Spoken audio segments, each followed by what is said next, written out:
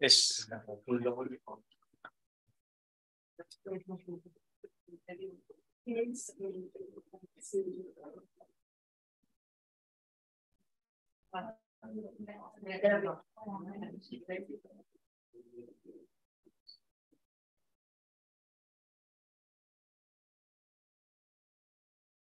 Bien, pues si os parece, eh, ¿tiene por ahí alguien también? ¿O no? ¿Qué tengo que hacer, Javier? ¿Eh? El micrófono es el palo. ¿Este? ¿A dónde lo pongo? Más cerca de. Ese es el micro. Ah, pero está bien ahora. Sí. Y, y luego se lo paso a Julio, ¿no? Vale.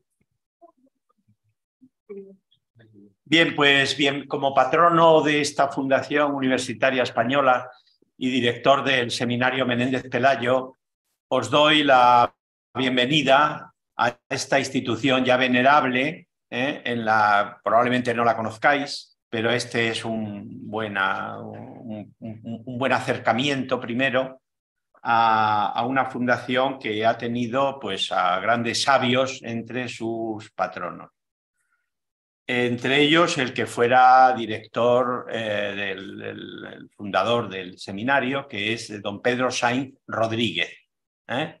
Esta figura, como sabéis, pues tuvo un protagonismo grande en la posguerra, él era monárquico, fue el primer ministro de Educación en el primer gobierno de, Franco, eh, pero después, eh, cuando ya vio que la restauración monárquica no era posible, entonces se marchó al exilio en Portugal y allí estuvo en la corte de don Juan en Estoril. ¿no? La labor que hizo Sainz Rodríguez fue enorme en todos los campos, porque fue un polígrafo extraordinario, ¿no?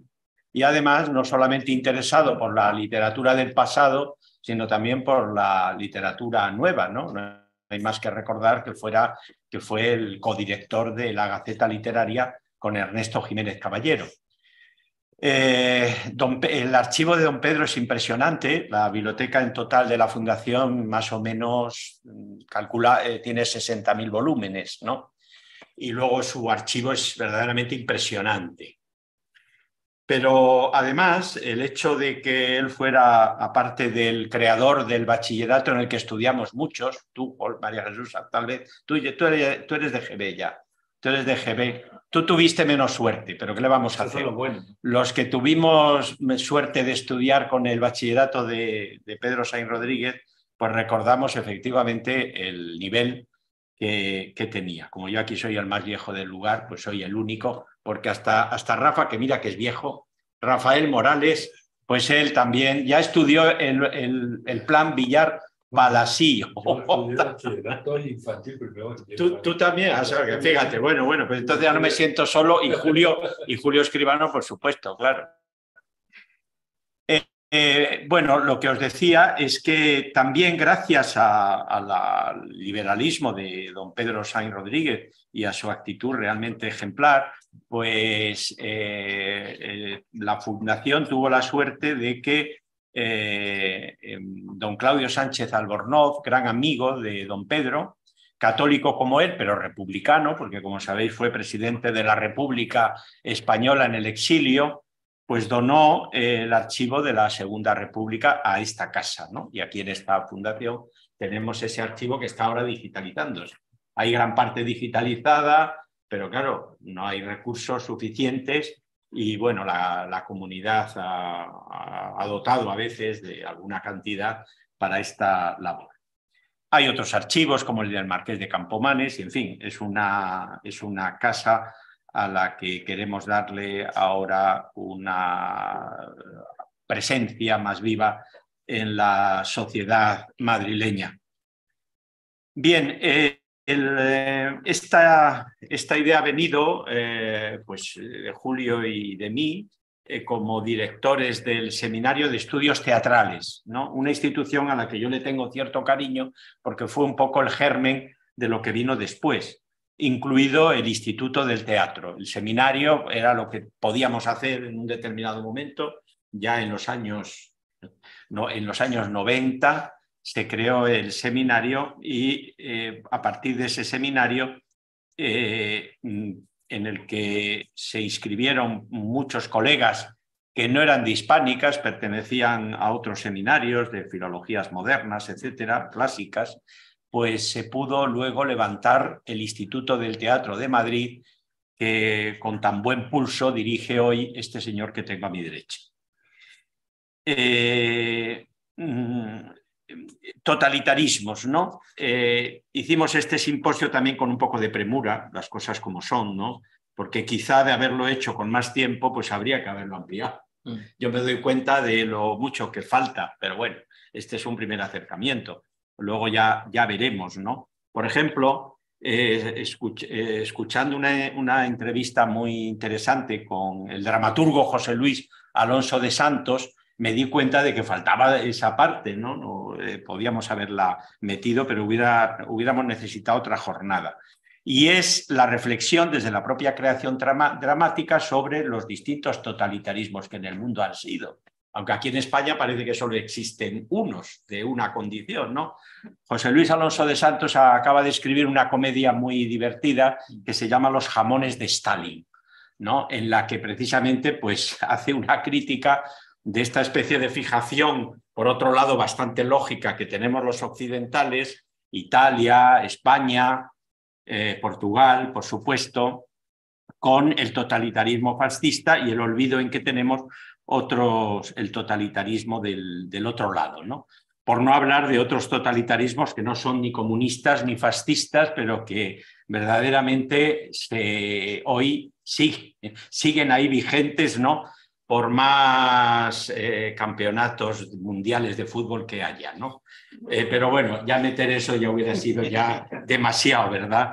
Eh, con lo cual, pues nos hemos conformado con hacer este acercamiento y os agradecemos a todos, naturalmente, vuestra presencia aquí, al comité organizador constituido por Javier Ramírez, que es investigador colaborador del instituto, eh, a través de los distintos proyectos del instituto. Después eh, Masha Kamet, que es eh, colaboradora de esta casa, de la fundación y muy pronto doctora en filología hispánica, con una tesis estupenda que trata pues, de lo que eran los grupos de teatro experimental en el franquismo y uno de ellos el de Dido Pequeño Teatro. ¿no? e Izan García Baumbach, que es licenciado en filología, eh, ahora ya no sé ni cómo se llama, hispánica, española, licenciado en filología, español, ¿eh? lengua y español, Fíjate tú, es que no se puede ni decir, ¿eh? porque antes lo decías, nosotros, Rafa y sí, yo somos licenciados en filología hispánica y a mucha honra, ¿no? Con un plan antiguo pero resulta que teníamos catalana, teníamos gallega, y todo eso venía en un plan del totalitarismo franquista, o sea que bueno, y ahora resulta que mis estudiantes no saben nada de, ni de catalán ni de literatura catalana, en fin, las paradojas de la historia. El proyecto que envolvía todo esto es el proyecto TEU, el proyecto dedicado al teatro español universitario, que ya se cierra próximamente, eh, desgraciadamente, porque porque a pesar de que hemos tenido casi dos años de inactividad por causa del COVID, pues la burocracia ministerial es tal que no nos deja lo que normalmente nos daban, prórroga. ¿eh? O sea que es asombroso que en un, eh, en un caso, en una circunstancia como la que hemos atravesado, pues no nos ha valido de nada. ¿eh? Verdaderamente asombroso. ¿Cuál es la causa? Pues que por lo visto son fondos FEDER fondos de la Comunidad Europea y hay que justificar el gasto en diciembre, el 31 de diciembre del 36. ¿Mm? En lugar de brindar con champán en Nochevieja, pues está. Y haremos, 36, haremos perdona, el, el, 31 de diciembre ¿En qué estaría yo pensando? No, no, digo. Estaría- no, estaba pensando en don Miguel de Unamuno, que como sabéis, como sabéis, el pobre, pues no se sabe si murió ese o murió en la madrugada. ¿no? Bueno, con esto, pues nada, estamos a vuestra disposición y aquí en la para todos. Y ahora, Julio, pues Muy bien. aparte de- ah, luego tú ya enlazas con tu propia. Sí, yo ya enlazo con lo mío, ya me vuelvo loco. Bueno, primero, muchas gracias a.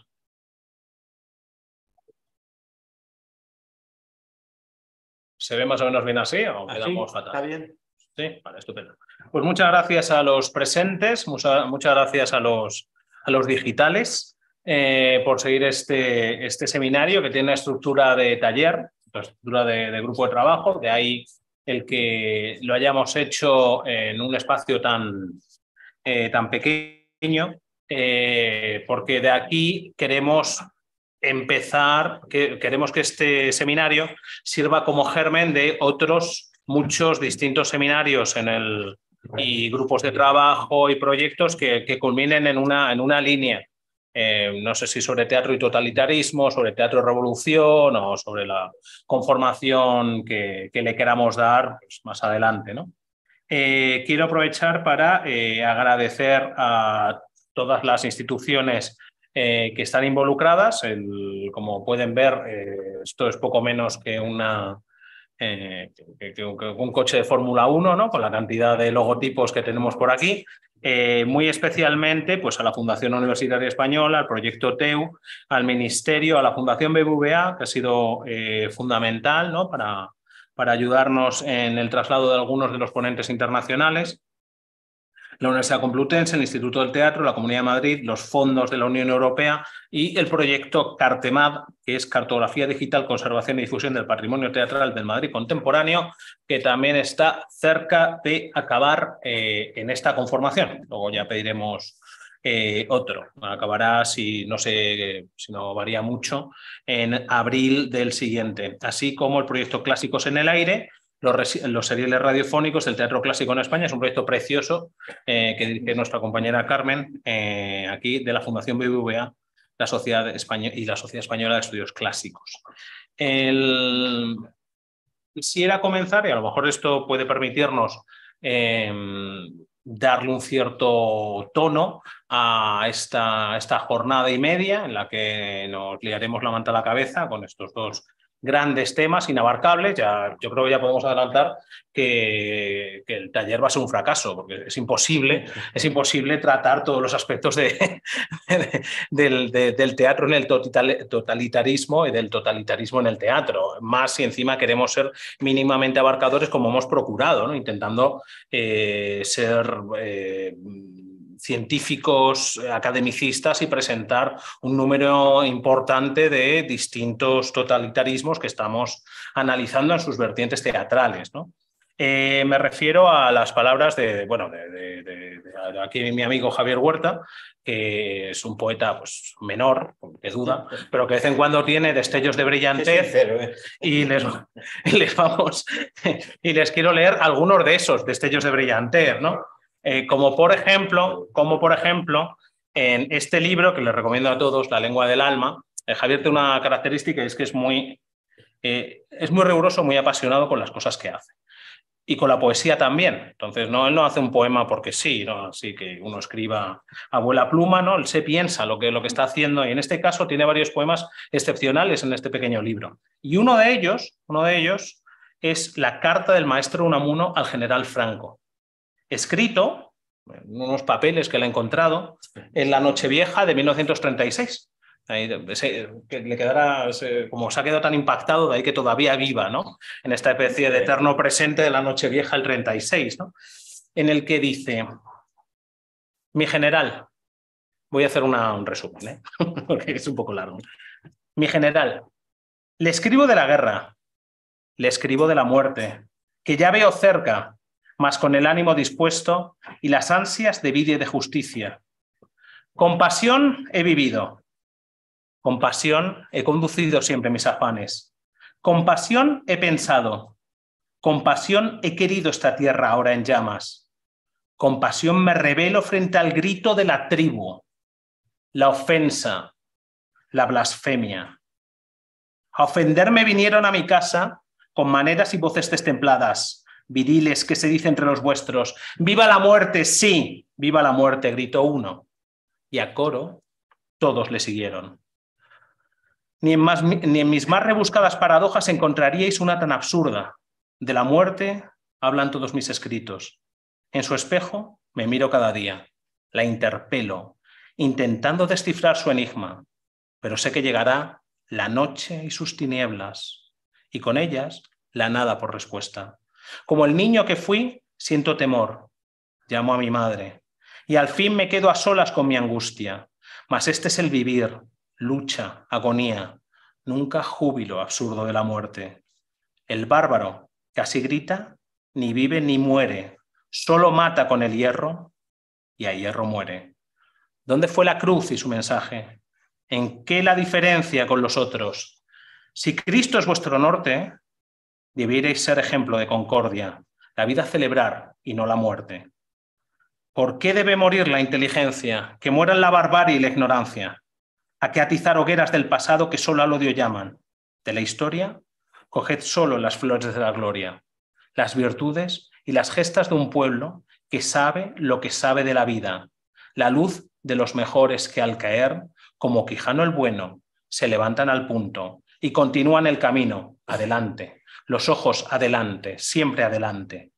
Poco pueden ya mirar estos cansados ojos míos, entristecidos de ver estas tierras de España sangrentada, por donde hoy galopan desbocados y temibles los cuatro jinetes.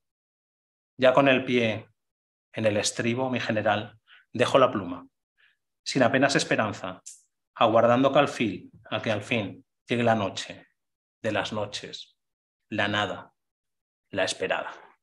Pues, lo has leído entero. Lo has leído entero porque se dejaba, no era tan largo al final. Bueno, esto no estaba, esto me has... Eso no estaba en el guion, no suele estar en mejores cosas. el, yo creo que este poema sirve para representar en, la viva imagen de aquel Día de la Raza del, del 36 en el que el Unamuno que otrora eh, alentara el, el alzamiento el, enfrentamiento que luego posteriormente va a tener y claro, está este, este mini exilio que sufrirá en su casa en una suerte de arresto domiciliario en la que seguirá escuchando las voces de la masa, las voces alocadas de aquellos que gritan viva la muerte, muera la inteligencia. El, yo creo que desde aquí es donde podemos partir y desde donde debemos partir de una manera analítica todos aquellos que nos enfrentamos con la problemática de analizar los grandes movimientos de masa que llevan al totalitarismo. Y ahí es donde voy a comenzar. Eh, antes de nada, eh, quería, porque se me ha olvidado también mencionar a Carmen González, que es catedrática de la Universidad Autónoma y que por supuesto está detrás de toda, de toda de toda la actividad ¿no? de los proyectos y en concreto de uno de los que genera este simposio. Luego os quería decir simplemente que nos atengamos al tiempo, aunque no hemos dado nosotros no, ejemplo. no hemos dado ejemplo, y como tú has leído el poema, pues te va a costar esos minutos de, de que no vas a... Eh, pero bueno, vamos a procurar atenernos, ¿no? Por razón de, bueno, de respetar la pausa del café que tenemos, a la... En fin, tenemos ahí unos minutos de coloquio. Entonces, bueno, vamos a intentar eh, cumplir con el, con el horario. Así que ahora, Julio, tampoco vamos a hacer presentaciones, nada más que estar aquí para si os vais de tiempo, pues os da, eh, daros una, una colleja, ¿no? Bien, pues eh, Julio Vélez nos va a hablar de colectividad heroica y totalitarismo. Muy bien, muchas gracias. Así.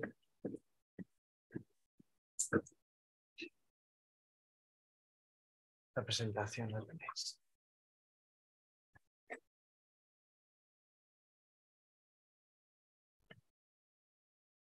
No la veo. Que tú ves, no. ¿Cuál es? Esa segunda. Os dejamos ver aquí con las cabezas. No tiene sonido, ¿verdad? Eh, tiene sonido y vídeo. Ah, pues entonces Tiene que saltar luego unos vídeos. ¿Pero saltan en YouTube o en la...? Saltan en la web, en YouTube. Pues entonces comparto la pantalla entera porque si no... Vale. Luego la liamos.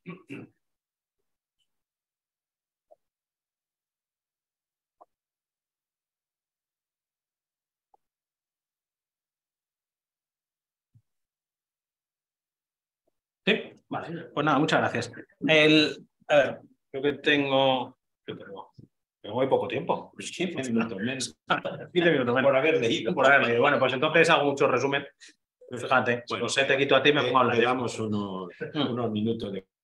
Nada, nada. Bueno, a ver, el, el, quiero comenzar diciendo que yo voy a analizar eh, el, el, teatro eh, del totalitarismo eh, internacionalista del comunismo en los años 20 y 30, eh, pero que esto mismo se podría analizar de manera muy parecida, o se podría aplicar de manera muy parecida al teatro de los fascismos de los años 20 y el, al, lo que podríamos denominar el totalitarismo nativista. Eh, es decir, algunos de estos elementos con cambios quizá eh, fundamentales, menos biomecánica y más futurismo, por ejemplo, podrían servir para analizar las Passionspiele del uh, Megao o los festivales, eh, los festivales nazis al aire libre, eh, las fiestas del estilo de las fiestas de la Victoria, España una grande y libre de Felipe Yuc, o el, quizá la Fuente Ovejuna Jiménez Caballero, o las numancias de Francisco Sánchez Castañer y José María Pemán en el 48, de Tamayo en el 61 y en menor medida la de Miguel Narros eh, del 66. A todas estas les he prestado atención en otros trabajos, entonces no voy a centrar en ellos, sino voy a ir al, digamos, al otro lado, eh, porque creo que puede ser interesante también ver cómo funciona este movimiento, el análisis de los movimientos de masas, de la, colectividad heroica, del, del, héroe colectivo, dentro de, el, dentro los autores más cercanos a la órbita del comunismo. Eh, voy a centrarme específicamente, porque no me va a dar tiempo a más, en César Vallejo, que es, eh, un poeta nacional peruano, es un poeta al que le tengo tremendo cariño, porque mi padre era especialista en él. Eh, yo cada vez que me meto con Vallejo me meto con el teatro, que es un poco lo que puedo hacer, de una era un poco, más, un poco menos mala. Y el uh, César Vallejo en el los 30 es, es un comunista marxista-leninista muy ortodoxo. Y además representa bastante bien la adaptación, creo, y la integración de las ideas del comunismo soviético bolchevique en, el, en la intelectualidad hispánica, porque él realmente es un intelectual eh, panhispánico. Desde que se va de Perú, eh, realmente no, no llega a volver y está siempre eh, andando por distintos lugares de Europa. Eh, también podríamos centrarnos, o podría centrarme, en el tándem Rafael Alberti, María Teresa León y en tantos otros autores de época. Pero, pero bueno, me voy a centrar en Vallejo porque yo creo que no me va a dar tiempo a más. Sencillamente. A la hora de acercarse a la colectividad como héroe o al héroe colectivo, en esto primero que partir de la, base de que en el, lo que ellos mismos denominarían teatro burgués, todos estos autores, por cierto, me interesa que quede claro que no son autores exclusivamente de teatro político, o por lo menos no es teatro político tal y como lo entendemos hoy día, es un teatro político cercano a las tesis del teatro político de Piscator, y son fundamentalmente autores de teatro proletario. O sea, el, término con el que ellos se identifican y el término que utilizan es teatro proletario, aunque hablen del arte y la revolución, como hace César Vallejo en 1921. ¿Vale? y hablen de agitación y propaganda y demás, pero el término específico que suelen utilizar es el de teatro proletario. Los autores de teatro burgués de drama social suelen construir la colectividad heroica desde la dramaturgia. Les pongo un par de ejemplos. T.S. Eliot en Asesinato en la Catedral o Our Town de Thornton Wilder. Estos son autores que para los autores comunistas siguen derivando del drama burgués, aunque hagan teatro social y en algunas ocasiones teatro que hoy denominaríamos muy comprometido, de denuncia y demás. Pero no es un teatro dispuesto para la revolución, Es un teatro, en todo caso, reformista que a la postre, para los autores de teatro proletario, acaban siendo eh, sistémicos, acaban siendo conformistas, en el sentido de que no están denunciando la estructura, sino un caso particular dentro de la estructura. Un Buero Vallejo, por ejemplo, entraría bien, pese a que Buero Vallejo fue, eh, miembro del Partido Comunista, él se desdijo del Partido Comunista relativamente pronto, ah, entraría bien dentro de este, dentro de este modelo. Los autores de teatro proletario, desde una perspectiva marxista, tienen como referentes a Kirchhoff y a otros autores bolcheviques de los años 20, El brillo de los rieles, Tem de, Podogin, El quinto horizonte y, de una manera más interesante en términos eh, teatrales, La muerte de Tarelkin de Meyerhold. Vamos a la muerte de Tarelkin de Meyerhold. La construcción de la, de la colectiva en la muerte de Tarelkin se acerca a los postulados del constructivismo. Los uniformes de los trabajadores están vestidos de gris y en negro y, las, la expresividad de los autores es, según dicen, se mueve según un movimiento natural de rítmica armonía, acercándose a lo que en otros instantes, y de aquí nos hablará, me imagino, bastante Javier, lo que se denomina la biomecánica, lo que denominaríamos como biomecánica. El constructivismo lleva en boga desde el año 22 en que se, estableciera por parte de Gant la obra Constructivism, ¿no? la primera formulación de una base teórica y crítica del movimiento. Es un fenómeno que, aunque nosotros ahora mismo lo relacionemos fundamentalmente con eh, postulados de teatro, agitación y propaganda de izquierdas, es fundamental, según dice José Antonio Hormigón, eh, una manera de activar las acciones de la masa. ¿vale? Eh, quiero que se fijen en aquellas obras, voy a poner como ejemplo aquellas obras en las que se utiliza el constructivismo y la biomecánica para representar una huelga. Esto es uno de los lugares comunes del teatro proletario de los años 20, de los años 30. Tenemos la escenografía por detrás del, baño de Mayakovsky. Recordemos que en, el baño, en el baño encontramos una serie de eh, personajes eh, que se mueven al unísono dentro de una estructura ciclópea, una estructura grande, una estructura en la que tenemos distintos niveles y todos tienen un paso de ballet. Esto se dice específicamente. Es un paso de ballet.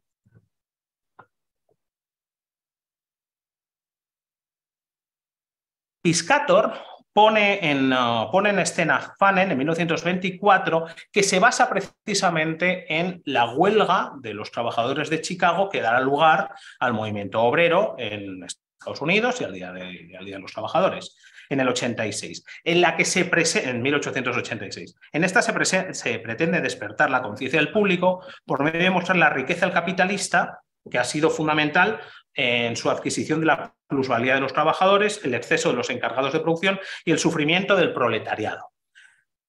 No sabemos cómo se hizo, no tenemos documentos gráficos, pero sí tenemos documentos gráficos de obras cercanas en espíritu. Eh, Einstein trabajó con Mayakovsky en varias obras y tiene una película maravillosa, como todo lo de Einstein, que es La huelga, que tiene parte de presupuestos muy cercanos.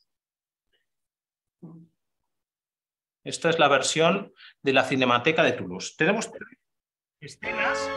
¿Se puede bajar un poquito a lo mejor esto? Ah, Hay tres escenas.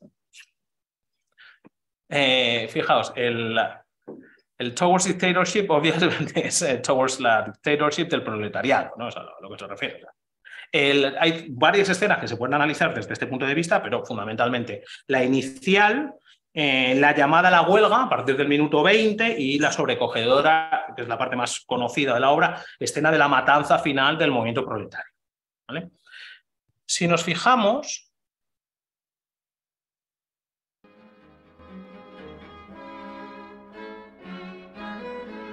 Ahí tenemos al capitalista fundido en negro con las entradas de, las, de los cuadros intermedios, se establece la conexión y ahí tenemos la belleza del trabajo.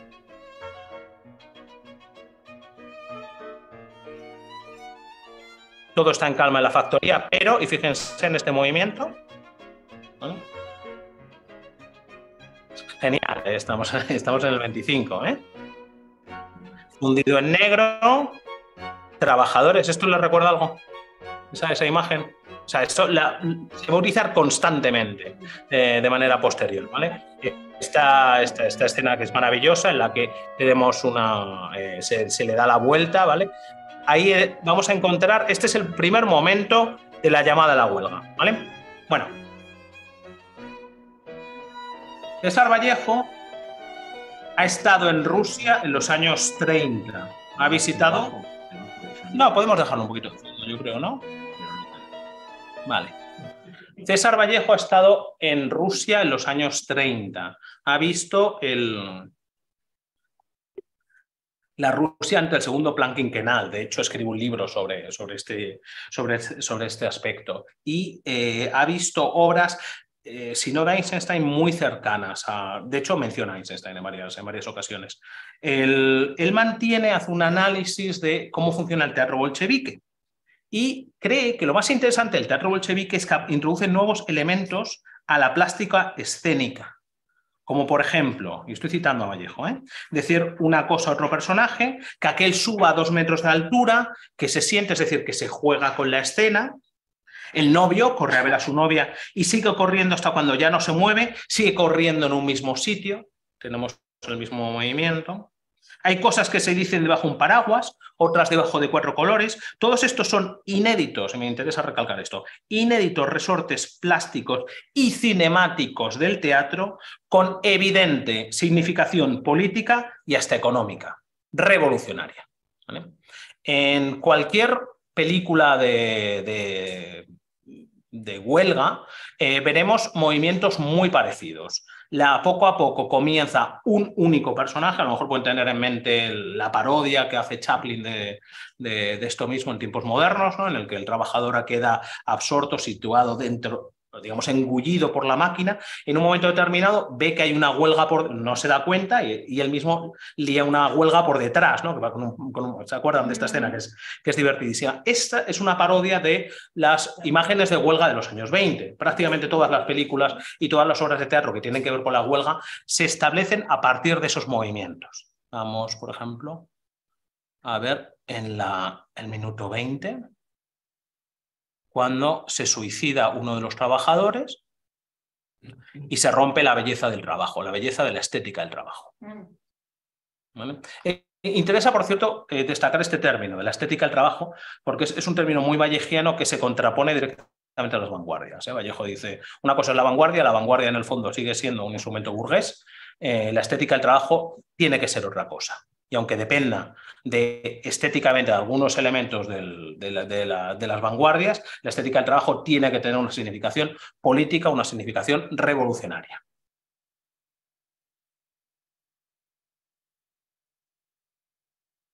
Poco a poco las masas van cogiendo la fábrica.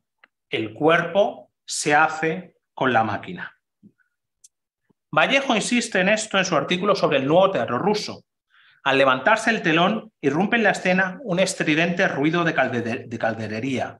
La acción de la pieza pasa en un centro de mecánica para transportes. El decorado es de una fuerza y una originalidad extraordinarias, mientras los demás teatros del mundo no salen de los consabidos decorados a base de residencias burguesas, castillos condales o a lo sumo de alquerías pastoriles. Me interesa esta, esta división, si se fija, es una división escénica, ¿no? Entre, entre la comedia, la tragedia y la farsa, casi, casi vitruviana, ¿no?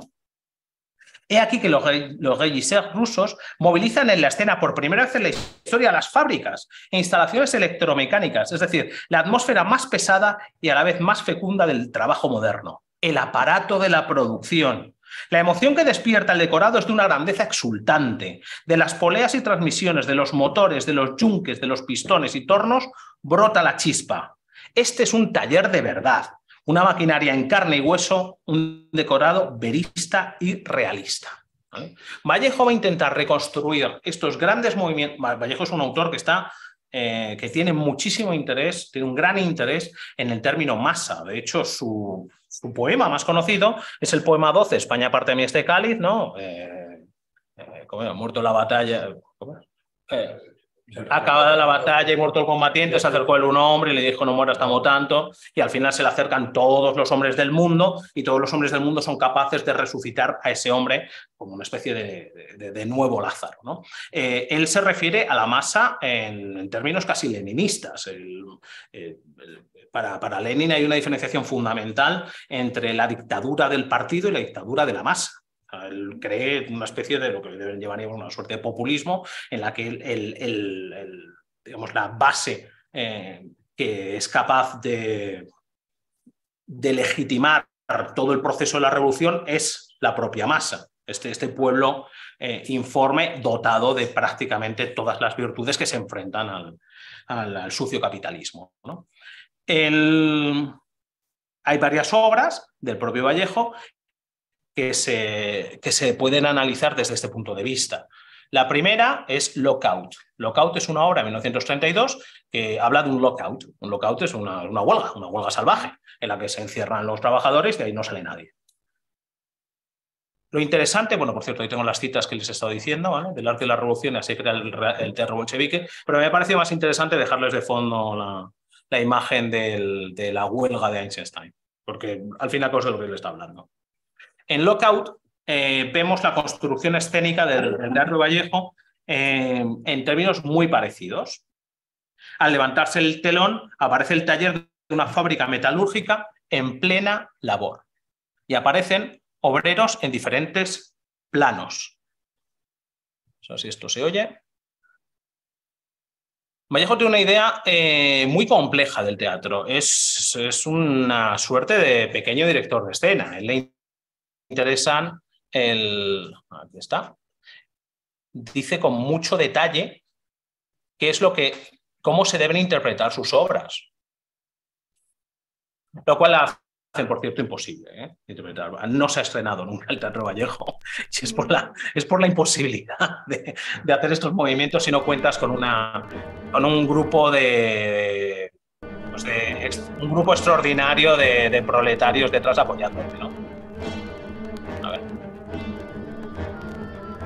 Este es el sonido que tiene que, haber de fondo. Un momentito, porque a lo mejor es un poco alto, ¿no?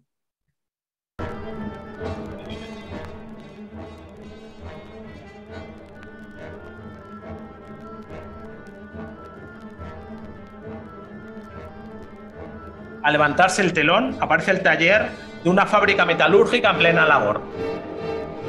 El sonido nos lo está diciendo, nos lo está marcando, ¿no? Obreros en diferentes planos, sincronizados especialmente por el ruido de los motores y con los ruidos de los talleres en general, el movimiento Paz de Asia de Prokofiev. Todos los obreros se hallan vestidos de gris y de negro, como él describía el, exactamente igual los, eh, los rieles a tiemblan de Kirchhoff. Relámpagos metálicos de color surcan los espacios de sombra. Todo se mueve según un movimiento natural de rítmica armonía, efecto general de ballet. Y claro, tenemos un ballet por detrás. Esa Paz d'Acier. Persisten los ruidos del taller y algunas voces dispersas e intermitentes. Claro, es fácil de imaginar, estamos ahora mismo escuchando, ¿no?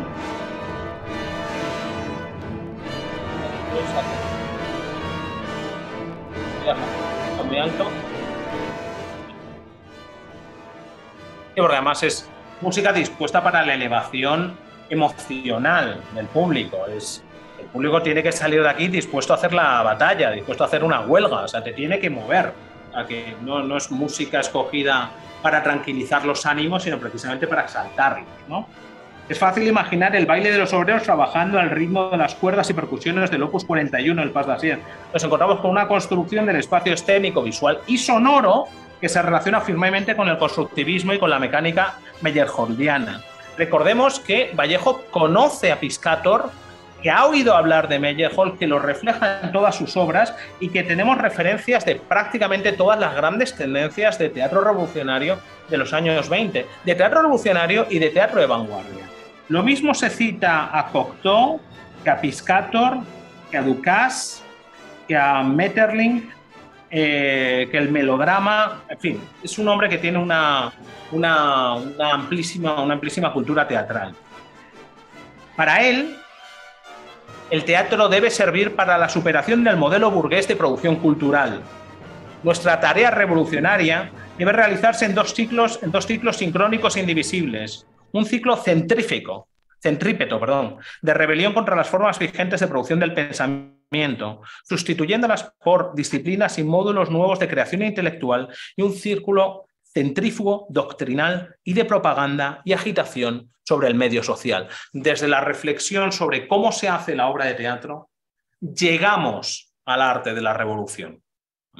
El, claro, Vallejo eh, está partiendo de, las doctrinas en boga en el momento con, sobre cómo se hace teatro agitación y propaganda antes de que se haga teatro de agitación y propaganda propiamente dicho. El teatro de Vallejo, que tiene varias obras que se, que se engarzan en estos, en estos aspectos de eh, biomecánica, constructivismo y, y, grandilocuencia dispuesta para llevar a la revolución, creo que nos puede servir bien para analizar cuál es realmente la repercusión de todas estas grandes tendencias estéticas revolucionarias y su llegada al mundo hispánico, mucho más allá de cuatro, tres o cuatro cosas que se puedan hacer en el bloque obrero camperol, por ejemplo, como se ha estado haciendo, o en otros autores eh, que, bueno, que, han recogido eh, básicamente teatro sindical. Estamos hablando de uno de los grandes autores de uno de los grandes eh, poetas del siglo XX y un hombre directamente eh, metido dentro de las grandes corrientes estéticas revolucionarias de su época.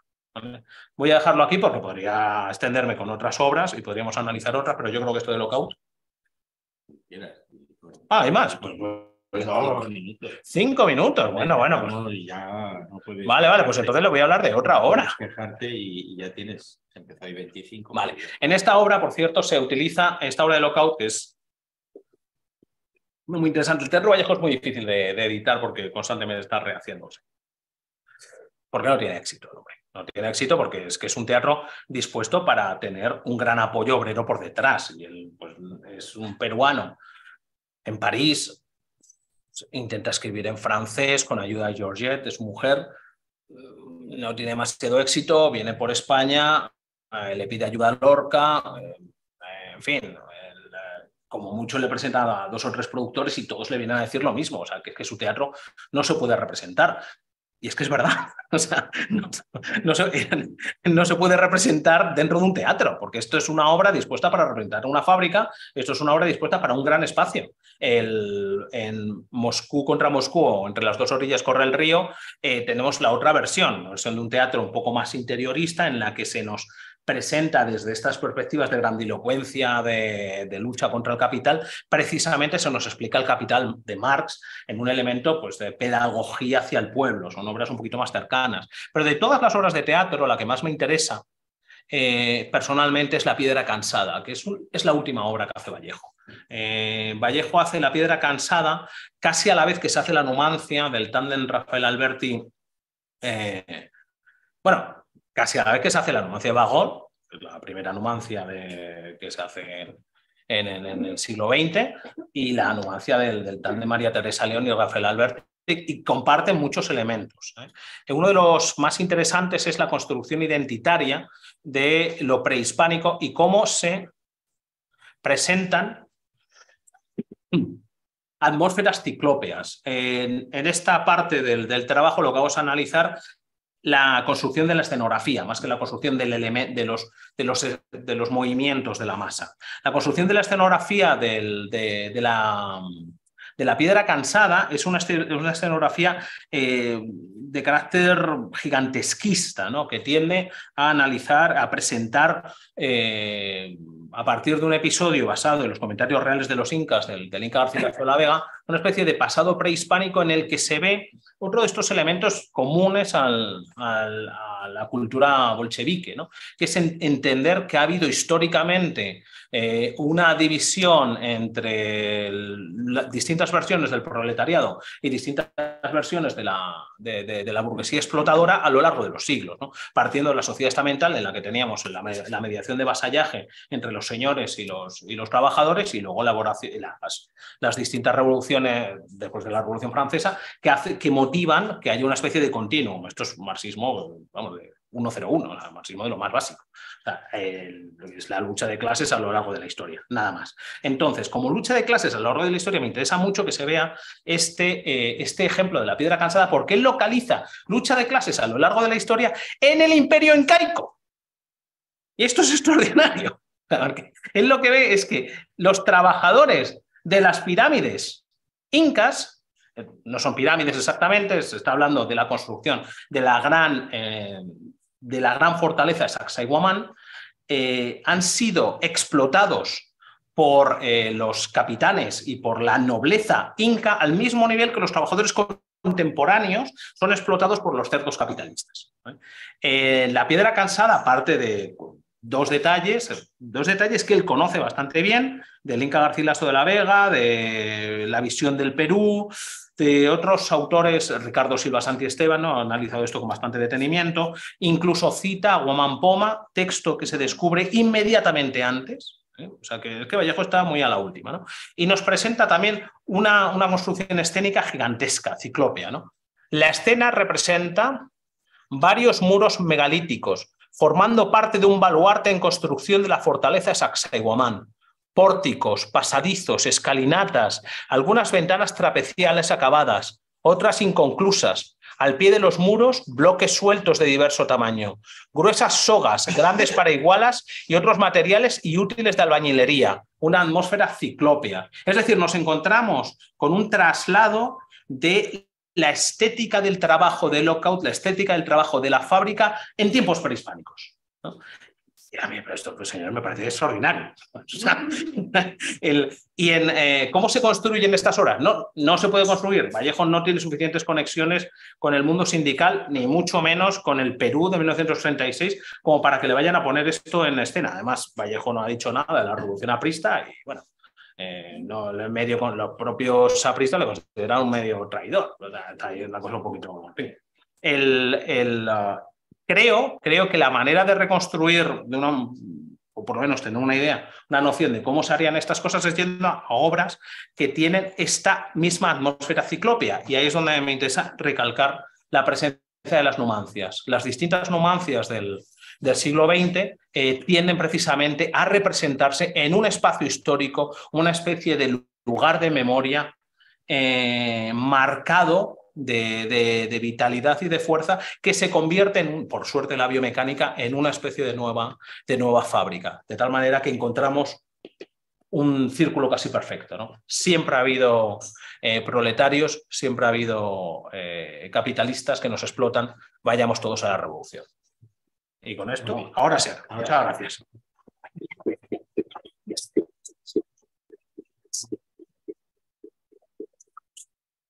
Iba a aplaudir la germánica, pero bueno. Eh, muy bien, mm, vamos a continuar con cuando acabe Julio de quitar esto. Esto lo quito así. Te vienes para acá. Y yo me voy.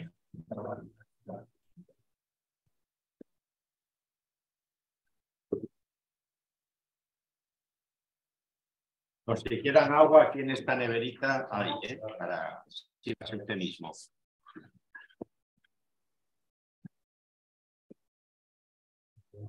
No, no tengo, no tengo. No ha dado tiempo a preparar nada. Bueno, in, interviene ahora nuestra amiga María Jesús Bajo Martínez, que trabaja en el Centro de Documentación de las Artes Escénicas de Andalucía y que es una investigadora notabilísima de todo aquello que se refiere al teatro español universitario, al TEU, lo conoce al dedillo, se doctoró en, el, en este tema y fundamentalmente ha trabajado pues todo lo que es el territorio andaluz ¿no? y la proyección que tuvo el TU en Sevilla y en otras ciudades andaluzas. Totalitarismo y vanguardia, directores de escena durante el franquismo. ¿no? Bueno, yo me he traído, bueno, gracias por invitarme, muchísimas gracias y bueno, por estar aquí con vosotros y con ya muchos amigos. Eh, yo me he traído el tema ah, de la vanguardia, los directores de escena al TEU en Andalucía. Lo siento, me voy a repetir un poco, algunos ya me habéis oído, pero bueno. Pocos movimientos como el TEU reflejan en su, periodo, en su periodo de existencia tan fielmente la evolución sociopolítica de este país y sin duda la historia del teatro de España durante esos años. Es indudable que el TEU en su origen fue un elemento de propaganda y educación del nuevo régimen, pero también es innegable su contribución a la, condición a la concienciación estudiantil contra la dictadura en décadas posteriores. Pero igual de incuestionable resulta la contribución que algunos de sus directores realizaron al panorama escénico y cultural del momento. Por lo que esta charla bien podría titularse Algunos hombres buenos. Directores de grupos que, unos desde su total militancia falangista y otros desde una posición más tibia o incluso simplemente posibilista, desarrollaron un importante papel, bien representando la vanguardia del momento, creando compañías que dieron el salto a la profesionalidad, abriendo una ventana a la calidad en la programación de sus ciudades o fomentando la vocación escénica. Y así vamos a hacer un breve recorrido por algunos directores, no os voy a, voy a, martirizar tanto, del TEU en Andalucía. Uno de los grupos de teatro universitario más antiguos es la Tarumba. Se creó en Huelva en una fecha muy temprana, verano de 1936. Estamos aterrizando ya en, en la España convulsa. Bueno, uno de los periodos de la España convulsa, pues hemos tenido tantos. La tarumba Inició sus representaciones en octubre de este año 1936 en la localidad eh, onubense de la provincia de eh, Ayamonte. Lo hizo con la, con la ayuda, con eh, las subvenciones de, fundamentalmente de comerciantes, pero eh, es muy probable, casi seguro que también lo hizo con la ayuda del Departamento de Propaganda situado en Sevilla hasta la creación de la Delegación Nacional de Propaganda que después se, se localizó en Burgos como el resto del aparato del, del gobierno sublevado. Gozó este TEU, la Tarumba, gozó de mucha actividad, incluso realizó una gira por Hamburgo en junio de 1938. Su actividad estuvo muy vinculada al conflicto armado. Visitó los frentes, realizó funciones para los heridos hospitalizados y campañas de Navidad para los soldados. también hizo otras cosas. Bueno, su repertorio estaba compuesto por obras clásicas, autosacramentales y varios pliegos de romances, entre los que se incluía el romance azul de Rafael de además de canciones populares escenificadas. Los espectáculos estaban muy elaborados. José Caballero, como ya había hecho para la barraca, realizó las funciones de escenógrafo y figurinista en la primera etapa. Los decorados estaban ejecutados con esmero e ingenio, así como el vestuario contaban con música en directo y el resultado era de una calidad inusual en la época y especialmente en un momento de conflicto armado. Se caracterizó por su modernidad, contención, lenguaje directo, pero también por su capacidad moralizadora y de transmisión de los nuevos ideales que se pretendían imponer a través de la puesta en escena de los del, del teatro clásico español. En resumen, constituía todo un ejemplo de la renovación escénica que pretendían los intelectuales de Falange. Y de este modo, un proyecto que surgió a imitación de la Barraca de Lorca terminó siendo el germen del Teatro Nacional de Falange. Sin duda, todo esto bajo la influencia de Luis Escobar, que era uno de sus asesores. Pero, ¿quiénes estaban realmente a pie de obra con la tarumba? Bueno, pues el director del grupo era el onubense Manuel de la Corte Amo, dibujante, dibujante, escenógrafo, poeta y crítico. De la corte era amigo de García Lorca, Cernuda, Adriano del Valle, Rogelio Buendía, entre otros. Fue además el organizador de una exposición muy rompedora de arte nuevo en 1927 en Huelva. Fue, aquello fue, por lo visto, un shock. Parece ser que él fue el creador de la, de la compañía, de, de, del grupo. Era falangista y tenía como objetivo hermanar el sentido clásico de la cultura con nuestro movimiento renovado de España, como aparece en la propaganda institucional de la Tarumba. Al lado de Manuel de la Corte y además de su amigo José Caballero se encontraban los hermanos Horta Manzano, que, eran, eh, que posteriormente sobre todo realizaron una, labor muy interesante de traducción de textos um, al español, el poeta Rafael Manzano, Francisco Montero, que años más tarde se dedicó a la prensa, el dibujante e ilustrador Julio Pérez Palacio, Jesús Arcensio, reconocido poeta, y el conocido músico Emilio Morero. Como veis, un, todo un grupo de intelectuales. Intelectuales mm, eh, que además, bueno, la mayoría en estos momentos estaban vinculados a Falange, pero que habían ido y venido en, en distintas concepciones. Aunque también, además de todos estos intelectuales, contaron con la quiescencia de Sancho Dávila, y Fernández de Celis, delegado territorial de Falange en Andalucía y primo de eh, José Antonio Primo de Rivera, que fue sin duda el que, eh, estando en Sevilla, les facilitó eh, parte del presupuesto para poder realizar el trabajo y, todo lo que llevaba la, tarumba, que era costoso en su primer momento. La colaboración de Jesús Arcensio resultó fundamental en la elección de las piezas que componían los pliegos de romances, al igual que eh, sucedió con la dirección musical de Emilio Molero. Pero no todos fueron momentos de gloria para este grupo, también pasaron periodos de inactividad y de dificultades. En este sentido, de la corte, el director, en una carta de octubre de 1938 dirigida a Dionisio Ridruejo, director general del Servicio Nacional de Propaganda, desde que se fundó en febrero de ese mismo año, en el 38, se quejaba de que Luis Escobar iba a utilizar su vestuario y a ensayar, a ensayar parte de su repertorio, incluso que se había llevado a la actriz Pepita Oliva. Efectivamente, Luis Escobar, a cargo de la sección de teatro del Servicio Nacional de Propaganda, se nutre de la experiencia y los saberes de la tarumba para la creación del Teatro Nacional de Falange, que debutó, todos recordaréis, el 8 de diciembre de 1938 en Burgos con la vida. Un modelo de dirección muy diferente al de la tarumba, donde los componentes del grupo gozaban de un peso en la formación y tenían una participación activa, proponían, discutían, eh, es el TEU de Sevilla con Luis González Robles como director. Este TEU, en cierta manera, recoge en Andalucía el testigo del grupo nubense cuando éste entra en declive. González Robles estudió filosofía en la Universidad Hispalense y, fue uno de los directores del TEU que tuvo más trascendencia tanto por la labor que desempeñó en el propio TEU como posteriormente en su trabajo profesional no dedicado a la cultura. Dirigió el TEC de Sevilla González Robles desde 1938, bueno, más que dirigir aquello, pero bueno, sí, estaba allí y tenía un papel importante, hasta 1944. Con su empeño personal, convirtió al grupo en un referente nacional que en más de una ocasión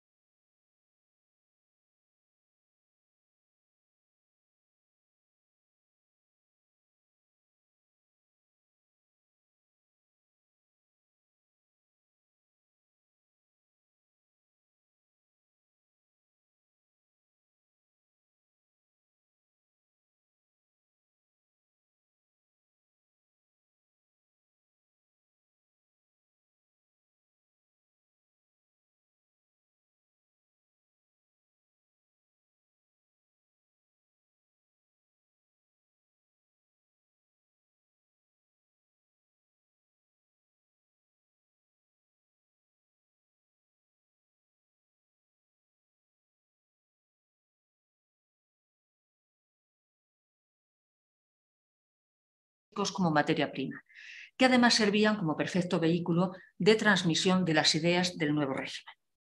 Cito, del teatro clásico tengamos el concepto de que no es un espectáculo explotable, sino un medio educativo que hay que diferenciar marcadamente del género teatral corriente, comenta en eh, una publicación. Sus espectáculos carecían de ese carácter de, de vanguardia que gozaban los de la tarumba pero sí eran montajes bien construidos, con interpretaciones correctas y los aspectos artísticos muy cuidados. En este sentido, habría que resaltar la puesta en escena de Fausto, con un marcado carácter expresionista. Igualmente resultaron espectaculares por la conjunción escénica tanto de la interpretación como de la música, así como de los elementos de la naturaleza misma, las representaciones que realizaron a altas horas de la noche en la glorieta azul del Parque de María Luisa. En estos momentos, el TEU debe constituir una isla de calidad en el panorama escénico de la ciudad, que tras en Sevilla, que tras la guerra había perdido su estatus de capital escénica del bando sublevado. Calidad que González Robles buscaba como objetivo para diferenciar su trabajo del comercial que despreciaba totalmente y de los cuadros de jóvenes de buena, de buena sociedad a los que también ponía verde. González Robles, hombre de gran sensibilidad artística, poseía una personalidad enérgica y resolutiva y un alto sentido de la disciplina. Él seleccionaba los textos, realizaba las adaptaciones. Entre sus ideas destaca el programa, el programa de clásicos extranjeros, aunque todos los autores elegidos pertenecían a la Europa fascista. Recordemos que era plena guerra y además los primeros años de la Segunda Guerra Mundial. Es de valorar su empeño en la formación de los actores que recibieron cursos de edición, esgrima, canto. En pocos periodos del TEU de Sevilla eh, la universidad se prestó tanta atención a la formación de sus actores ni del alumnado general en temas de, teatro. Tras su, etapa en Sevilla, González Robles desempeñó el puesto de secretario del Teatro Nacional Español, donde colaboró con Cayetano Lucaretena. Más tarde pasó al Teatro de Cámara y Ensayo. En esta época, conforme a la nueva situación, comenzó ya a dirigir pues, el teatro contemporáneo europeo aunque eh, también estuvo muy ligado, dirigió la compañía Calderón de la Barca a principios de los 50 y ahí volvió otra vez a los clásicos. Em, posteriormente abandonó el teatro, sacó unas oposiciones, abandonó el teatro y se convirtió en uno de los principales promotores del arte contemporáneo en España. Hay que decir que en determinados sectores se le acusó de servir al franquismo, dando una imagen de modernidad y libertad irreal en la España del momento. En 1944, justo cuando González Robles deja el TEU de Sevilla, en Granada, eh, José Tamayo toma el testigo, en cierta manera, de la calidad de los teatros eh, universitarios andaluces y comienza a dirigir y estará en un periodo del 44 al 46. Su trabajo y especialmente su visión llevó al Teo de Granada a constituirse no solo en uno de los grupos escénicos más importantes del, ámbito académico, sino del teatro en general, sin contar evidentemente los teatros nacionales. Pero José Tamayo, al contrario de su coetáneo, coetáneo González Robles, tenía ya una visión o una intuición profesional de la compañía. Si González Robles entendía el teatro universitario como un vehículo de renovación del teatro y educación del público de la escena, sin salirse de estos cauces establecidos, pero mm, tampoco poniendo mucho énfasis, eh, Tamayo lo que hace hincapié es en la dignificación de la escena. Para la consecución de sus fines creó una estructura bien definida y además inusual en los TEU, que era dividir las funciones de dirección en administrativa y artística. Él tenía una mente muy, muy clara. En relación al repertorio, mm, Tamayo aparte de los Calderón de la Barca y Lope de Vega de Rigor, comenzó a añadir eh, autores del momento, colaboradores del régimen como Pemán y Agustín de Fox. También eh, nuestra ciudad de Thornton Wilder, que justo la temporada anterior había tenido un gran éxito en el María Guerrero. Y también pone un Don Juan Tenorio de Zorrilla. Como veremos, él va un poco a tiro seguro. Resulta interesante una vez finalizada la Segunda Guerra Mundial, como Tamayo, eh, con su TEU, eh, lleva a escena tres ses. Esto en contraposición a lo que, por ejemplo, había hecho González Robles justo unos años antes en su programa de clásicos extranjeros, donde los clásicos que había puesto eran Goethe, Schiller, eh, Almeida y Garrett y Goldoni, todos del eje fascista, que era hacia el que se inclinaba el gobierno en esos momentos. Eh, Tamayo, al frente del TEO, seguía con mucha fidelidad el modelo de los teatros nacionales y mantenía una estrecha relación con sus directores, especialmente con Luca de Tena, que incluso llegó a supervisar personalmente dos montajes de la compañía. Y además también le cedió en varias ocasiones vestuario para sus representaciones universitarias. Desde su época de Teu, Tamayo ya planteaba sus puestas en escena como grandes producciones. Para él, buenos textos y montajes espectaculares devolverían la dignidad perdida a la raquítica escena del momento en España. Entusiasta, incansable, no se conformaba con las escenografías y figurines de los compañeros de, Bellas Artes, que era lo habitual en la mayoría de los teos, sino que recurría a artistas del momento. Incluso hizo confeccionar aquí en Madrid vestuario, el vestuario para el sueño de una noche de verano. Lo mismo sucedía con la dirección musical y con la coreografía. Recurría a profesionales y además profesionales reconocidos. En un comentario a la prensa eh, llegó a decir, en el montaje vamos a echar, como vulgarmente se dice, la casa por la ventana. Como ya podemos ver, ya eh, desde el Teu, eh, Tamayo tenía ya muy claro cómo iba a hacer el teatro y qué es lo que él quería hacer. ¿no?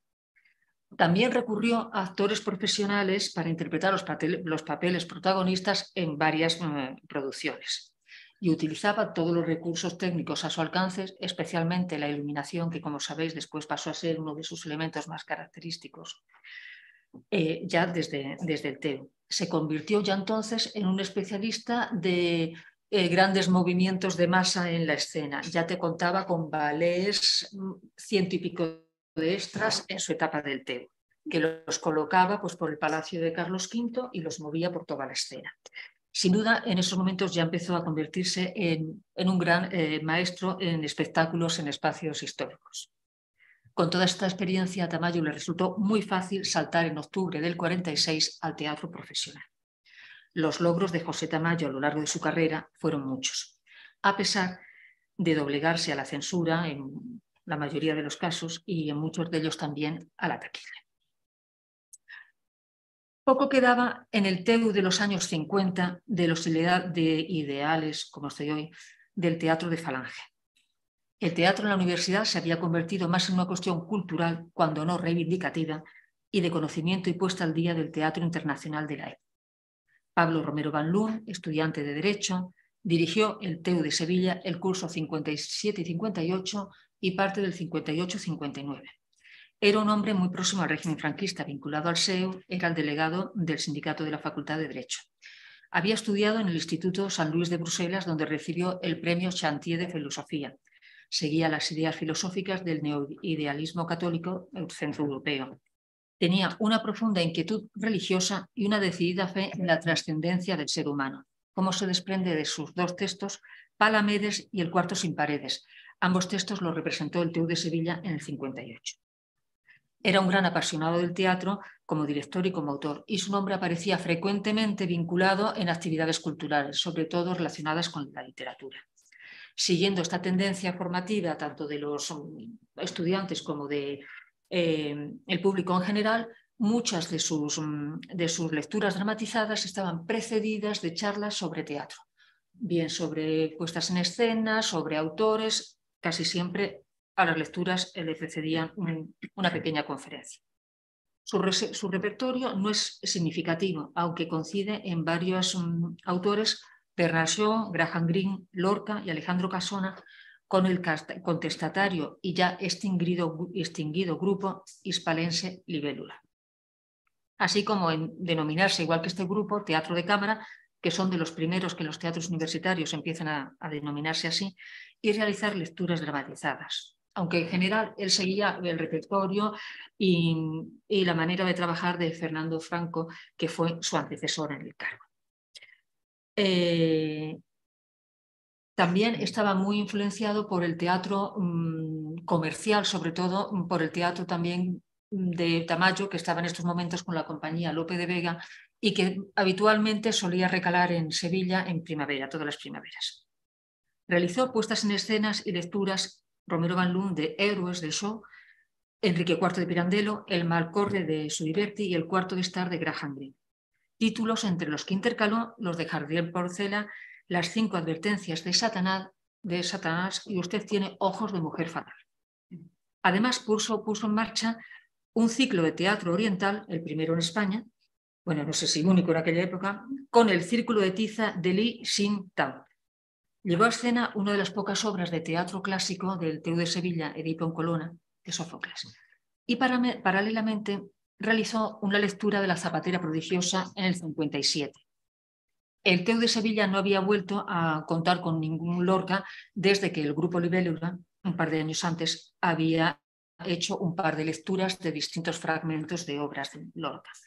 También pone en escena eh, la obra de Casona Prohibido suicidarse en primavera. De todas maneras, vemos que los dos textos, tanto La Zapatera como Prohibido suicidarse en, primavera, no son los más beligerantes o los, digamos, los que pudieran tener una contestación mayor por parte de la censura. Pero este repertorio, que desde la distancia nos puede parecer usual ¿no? y normal para la época, habría que oponer este repertorio a la realidad de la misma ciudad, que seguía representando los Corpus Christi, los Corpus Christi eh, autosacramentales, donde en eh, el ámbito académico los clásicos tenían un peso muy fuerte, incluso no solo en el académico, sino en las compañías. Por ejemplo, la compañía de Narros en el 58 representa al Caballero de Olmedo y la Dama Duende. ¿no? Todo esto por no hablar, por ejemplo, en el 58 que también está el primer festival quinteriano. Romero Baulum fue un director significativo en la historia del Teo de Sevilla al frente del cual realizó una labor de modernización y de cierta dignificación del TEU, que estaba un poco mm, venido abajo. ¿no? Eh, para lo cual, como no, prestó especial atención a la escenografía y el vestuario. También en un par de ocasiones alquiló vestuario aquí en Madrid, en Peris y, Cornejo. Eh, era un gran director, su principal, quizás su principal mm, aportación fue algo inusual en el momento. Era un gran director de actores cuidaba con mimo los ensayos y elegía escrupulosamente el reparto, cosa que hasta la crítica del momento se dio cuenta. ¿no? Y llegó a decir, la representación constituyó un auténtico éxito interpretativo, a lo que contribuyó la elección de actores de conformidad a los personajes. Ya sabéis que los teos y en general todos los grupos aficionados tienen bastante dificultad a la hora de adecuar los, actores con los que cuenta a los personajes que tienen que representar. Para él, la plena compenetración del actor con el personaje era el objeto de este director. Era muy curioso, él dirigía al oído, cogía a cada actor y le susurraba lo que tenía que hacer. Incluso cuando estaba eh, ensayando y estaba el otro actor eh, interpretando. Entonces le decía muy quedamente, sorpréndelo, sorpréndelo. ¿Eh? Era, un, director peculiar, pero eh, mm, los actores que después pasaron a la época, vamos, a la fase, digamos, profesional, lo recuerdan mm, como un gran maestro. En diciembre del 59, eh, después de que acabó la carrera y ya se tomó las cosas de otra manera, pasó a dirigir el Teatro del Frente de Juventudes y se dio un vuelco total en el repertorio y el trabajo del Frente de Juventudes. Joaquín Arvide, estudiante de Filosofía y Letras, tras un primer periodo en el que estuvo de ayudante de dirección de sus predecesores, en 1961 asumió en solitario ya la dirección del TEU de Distrito de Sevilla. Es decir, había muchos TEUs de facultades y uno que era el grande de Distrito, que era el que él dirigía. En su libro Sevilla en los años 60, os lo voy a leer porque lo narra con cierto humor, eh, cuenta cómo terminó siendo director del grupo. Dice, me hicieron director del TEU porque me tomaba los ensayos muy en serio, pero sobre todo porque llegaba todas las tardes el primero. Entonces alguien pensó que yo era la persona ideal para abrir el salón de ensayos. Lo que realmente me nombraron fue portero. Arvide se sentía heredero de Pablo Romero Balún. De hecho, lo estuvo asesorando y ayudando en algunas direcciones de obras y de la labor de este frente al TEU. La dirección de Arvide supuso en el teatro de distrito y para el Teus Talense en general un revulsivo. Propició una actividad ininterrumpida interrumpida de representaciones a un ritmo frenético. Llevó a escena decenas de obras, casi pues, como 40 obras. Eh, no realizaba lecturas significadas, sino todo representaciones. Y además, en la mayoría en los teatros, nada del aula magna, no, no, no, en los teatros de la ciudad. Llegó a dirigir y representar en 1966 12 obras. Esto para un TU es algo mm. impensable. Jamás el TU de Sevilla había conocido esta proliferación de, montajes. El TU de Arvide se centró en la difusión de autores como Unamuno, Brecht, Masfris, Valle y muy especialmente Ionesco, al que le tenía especial apego y del que puso tres montajes. Fue el primer grupo en poner en escena en Sevilla obras de José de Bergamín o de Jean Cocteau. Pero no solo eh, montó a estos autores, sino también mm, a contemporáneos como Muñiz, Arrabal, Gala y autores noveles como Alfonso Jiménez Romero, Pérez Cansao, Jerónimo López Mozo. Por cierto, montó una numancia en el castillo de Alcalá de Guadaira, con eh, el texto adaptado de, de Alfonso Jiménez Romero. El castillo es muy impresionante y, fue también un espectáculo, creo que era para un congreso odontológico o algo así, que fueron los que lo sufragaron. Resultó muy espectacular. Arvide, ante la situación política que se vivía en la dictadura, representaba dentro del Teo de Sevilla y frente a otras opciones más comprometidas como el Teo de Filosofía de Luis Núñez Cubero, la postura del posibilismo dentro del teatro. Respecto a la ideología que animaba al grupo, el propio Arvide la definió como una búsqueda escénica muy relacionada con la estética. Tanto en su trayectoria en la agrupación como después en el grupo Tabanque, eh, se le reprochó la falta de definición política y su carácter esteticista. Fue esta tibieza, junto con el modo un tanto autoritario de dirigir y estancado quizás en la puesta de escena, lo que provocó la escisión y la creación de Esperpento, una de las compañías más señeras del teatro independiente en España. Aún así, resulta incuestionable la dedicación, de Arvide como director del TEGO.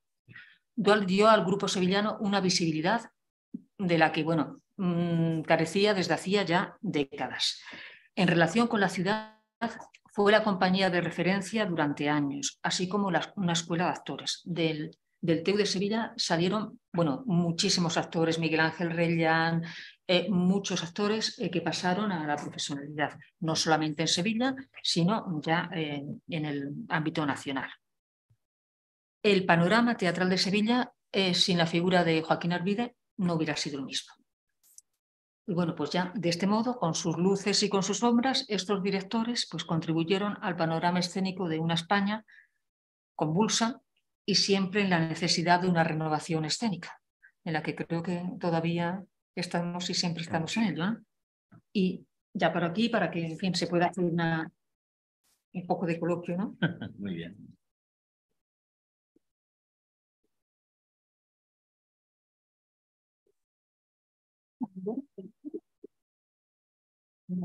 Me voy, te vienes. No, ahí se ponga Julia. Bueno, ahí también. ¿Qué piensas de la monarquía de Arvide? Pues mira, te lo tengo que mirar, pero puede que sea sobre el 62 o así. Te mando el. Te mando el. O sea, entre la de tamaño y la de nano. Sí, sí, sí, sí. Bien, tenemos. Una cosita, perdona, que quería deciros, perdonadme, pero es que mirad cómo tengo el ojo y leo fatal. Con las gafas estoy fatal y leo un poquito mal, por eso me he trastabillado un poquito. Estoy un poco. Se nota que te lo sabes, María Jesús. Sí, ¿verdad? Eh, bueno, eh, tenemos cinco minutos porque hay una cosa que tenemos que cumplir, que es lo del café. Y el café a las seis media, y si no vamos a seis media, no hay café. Eh, entonces, por eso os digo, hay alguna, hay alguna, bueno, yo tenía muchas cosas por a Julio, pues no, Claro, cuando ha hablado de este César Vallejo, diríamos, eh, comunista, no sé si trotskista, eh, y por lo tanto heterodoxo dentro de la línea del comunismo, enfrentado a Pablo Neruda. Bueno, ¿quién nos enfrentaba a Pablo Neruda? No, que era un comunista de salón. Digamos. lo que tenía Pablo eh, o Miguel Hernández, que en esto yo creo que era muy parecido a, a César Vallejo. Mm. Eh, Era muy honesto Miguel ¿eh? Hernández. Claro, claro. Pues ya esto, pero ya no, ya no empleo ese adjetivo, sino que, esa, que esa cuestión no, pero que es así, eh, efectivamente lo pone como un ejemplo de esto, estando, bueno, pues teniendo sus ideas, para algunos acertadas equivocadas, porque su viaje a la Unión Soviética, y tú te has referido, claro, al libro suyo, al viaje a, donde hace una, una descripción muy detallada de lo que era el teatro. Tiene dos, ¿eh? Dos, sí, claro. Ilustra Rusia 1931, que es la, la, la, disposición ante el tercer plan quinquenal.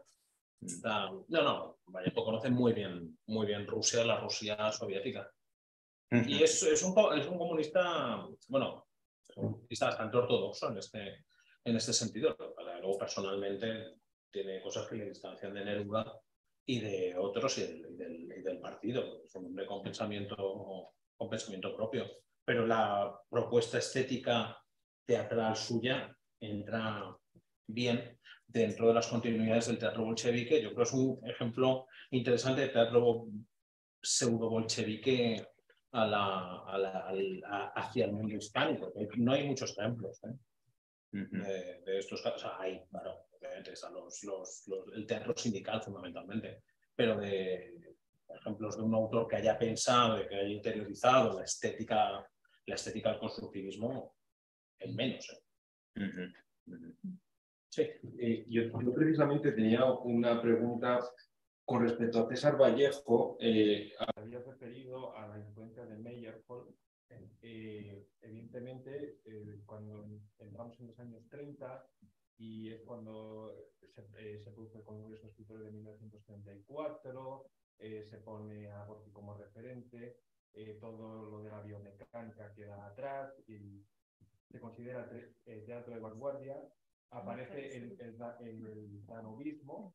Eh, ¿Cuál es la postura de César Vallejo con respecto a eso? Porque evidentemente estamos hablando de, una transformación total. Él cree que se puede ser, eh, que él se puede ser estéticamente revolucionario y no ideológicamente revolucionario. Y el caso que pone específicamente es el de Miller. que hay una discusión en, en el momento y él se, y él se, y él se posiciona. Para él, el teatro eh, proletario tiene necesariamente que ser revolucionario.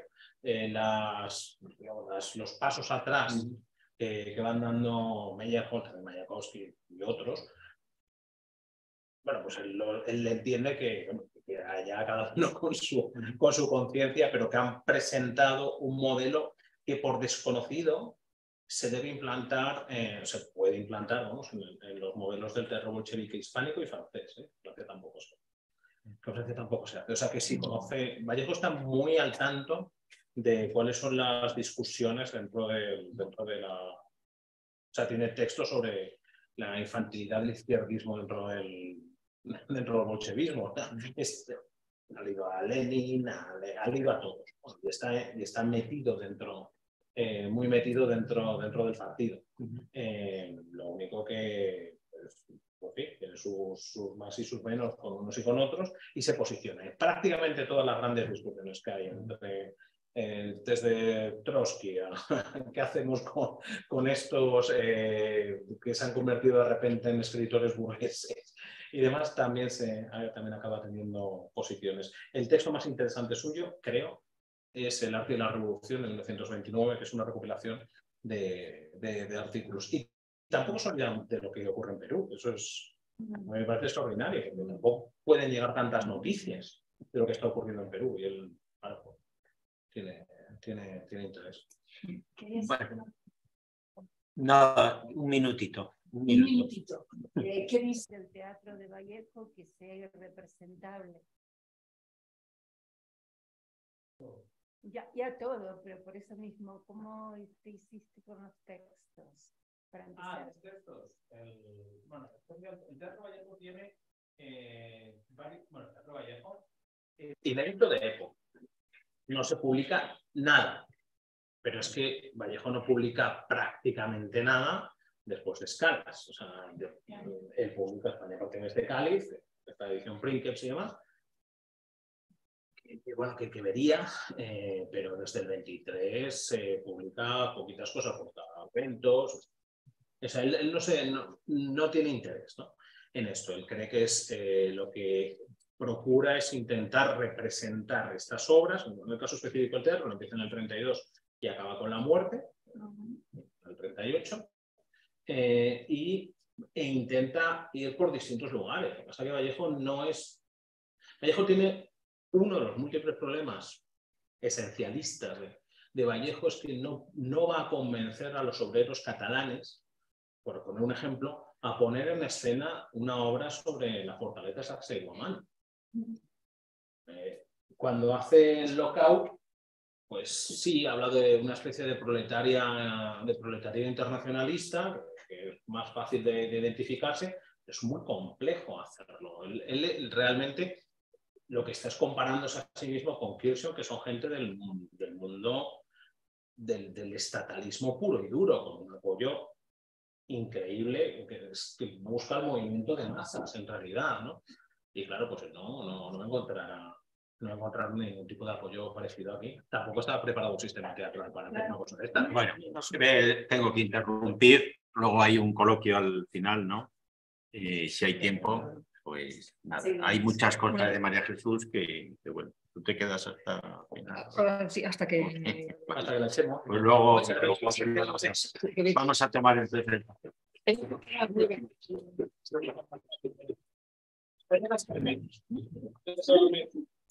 Mañana, Ah, mañana tengo que estar en, en un- unas jornadas de igualdad. Madre mía, o sea, no.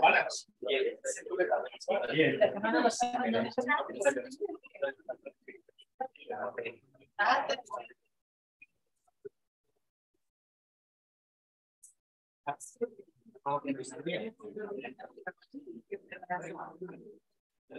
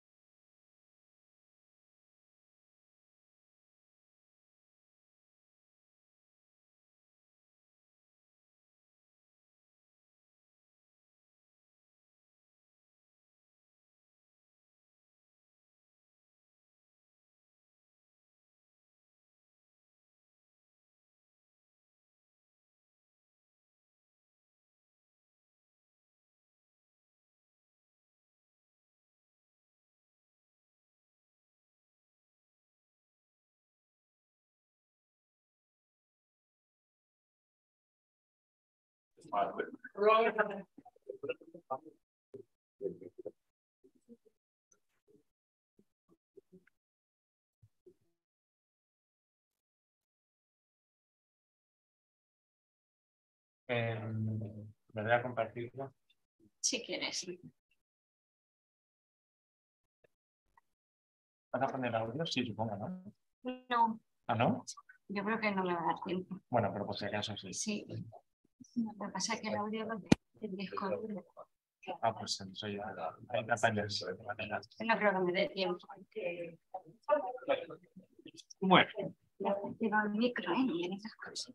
no te digo cositas, no te digo cositas al oído.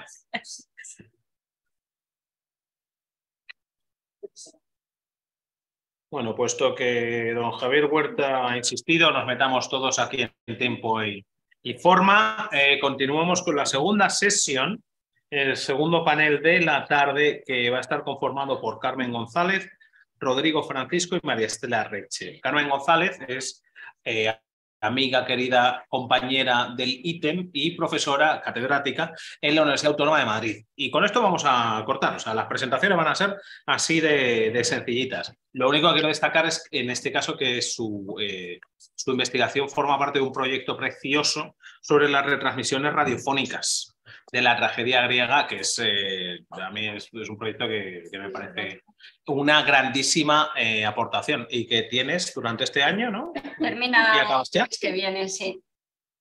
Oh, estos o temporadas, ¿no? Ya, ya, ya va acabando todo. Eh, Carmen González nos va a hablar de las reproducciones radiofónicas de tragedia griega y la burla a la censura.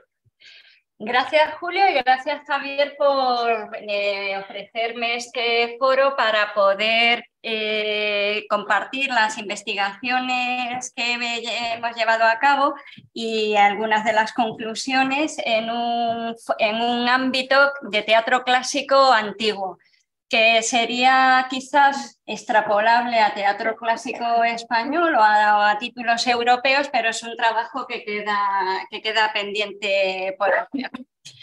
Empezamos en el año 1924, que es cuando llega la telefonía sin cables, era como se la denominaba al principio, es decir, la radio.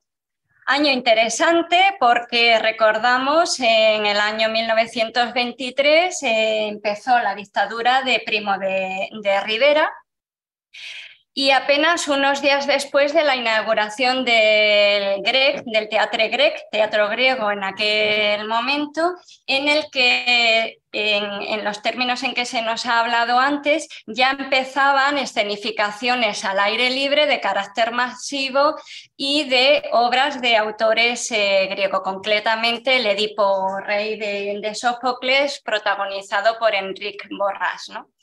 ¿Qué ocurre? Que el Grec eh, cierra entre el 29 y el 36, solamente se utilizó el recinto apenas 15 días, entre ellos para representar una obra de Plauto, la Ulularia, y a la cartelera llega otro tipo de teatro más, más comercial. ¿Qué encontramos eh, al mismo tiempo? Pues que los autores, cuando hable de clásicos, siempre me voy a referir a los míos. ¿Eh? A, la tríada griega, Aristófanes, ¿eh? un poco de Seneca también. ¿Y que nos encontramos? Que salen de los escenarios los, eh, los, autores clásicos y empiezan las lecturas dramatizadas en cenáculos o mini representaciones en sitios cerrados. En este contexto empieza la radio y se crea la Asociación de Radioescuchantes. Esto es un dato que fuera de ser anecdótico va a ser interesante porque eh, los radioescuchantes, en último término, van a decidir también qué programación quieren, quieren oír. ¿no? Empezamos haciendo un poco de cronología, sobre todo me quiero centrar, quiero llegar a los años 60, pero sí me interesa ver cómo se empezó a trabajar en esta década de los años 20. Empezó una emisora, Radio Ibérica, y eh, a continuación se fueron creando otras emisoras, Radio Barcelona, fundamentalmente por la amplitud de onda que se tenía. ¿no? Y ya desde el principio se distingue lo que es un locutor, un speaker, como esto venía importado de Estados Unidos, de lo que era un actor. Es decir, eh, había una suerte de profesionalización de la actividad eh, interpretativa y de la función que se tiene en, eh, en la programación y en el tipo de trabajo que se realiza en la emisora. Radio Madrid se une con Radio Barcelona en el año 1925, surge Unión Radio, hay una tesis doctoral sobre Unión Radio hecha por María Ángeles Afuera, y eh, por si alguien quiere leer más sobre esta emisora y cómo trabajaba. Y lo que me interesa destacar es que crean un periódico especializado, la revista Ondas, que hoy da pie al premio Ondas, tan y evidentemente acaban con Radio Ibérica porque van sumando las distintas emisoras que había eh, por el territorio español, conformando pues, un consorcio pues, que eh, llegaba a tener una audiencia nacional con visos de eh, estar al día en lo que ocurre no solo en nuestro país, sino en el mundo. Ahí vemos, por ejemplo, eh, al, rey Alfonso pues eh, inaugurando la emisora en Radio Madrid. ¿Quién está detrás de Unión Radio? Está Ricardo Urgoiti, que procede de la Institución Libre de Enseñanza. Además, procede de una familia que son los editores del Sol y eso ya nos hace entender por qué en paralelo a la emisora se crea un periódico de tirada nacional para poder acceder a lo auditivo, a la emisión, pero también a lo, que queda por escrito. Es un hombre muy interesante que colaboró con Buñuel, y que funda la revista de Radiociencia Popular y que trajo de Estados Unidos eh, programación novedosa, jazz, introducción de música para ganar dinero y que ser autosuficientes, etc. Y lo que me interesa es que para él la radio no era un medio de ocio ni un medio de entretenimiento, sino que era una conjunción de propagación de actividad cultural y pedagógica, además, por supuesto, del ocio. ¿eh? precisamente por, sus orígenes formativos en la institución libre de enseñanza, sin duda. Tras la guerra civil, eh, la Unión Radio es expropiada, eh, Urgoiti se exilia y Unión Radio pasa a llamarse Sociedad Española de Radiodifusión, es decir, la cadena SER que es lo que conocemos actualmente en España. ¿no? ¿Por qué la radio es para Urgoiti sinónimo de progreso? Porque permite llevar a las casas actividades masivas eh, sin salir de casa. Entonces, em, eh, y además, como él es ingeniero, le permite también eh, probar desarrollo tecnológico para mejorar la infraestructura de nuestro, de nuestro país. Empezó con una corrida de, Belmonte de Plaza de Toros, pues ahí si no se, oye, no se acaba oyendo muy bien, pues bueno, no pasa nada. Luego eh, combate de boxeo, luego ya fue a un partido de fútbol y en 1933 retransmitieron en directo la Medea de Margarita Shirgu y Cipriano Rivas Cherif y Enrique Borras eh, en, versión de Miguel de Unamuno. ¿Vale? Vemos aquí el micrófono puesto ¿no? en, en, el escenario para cogerlo todo. Ahí se ve un poquito mejor. ¿eh?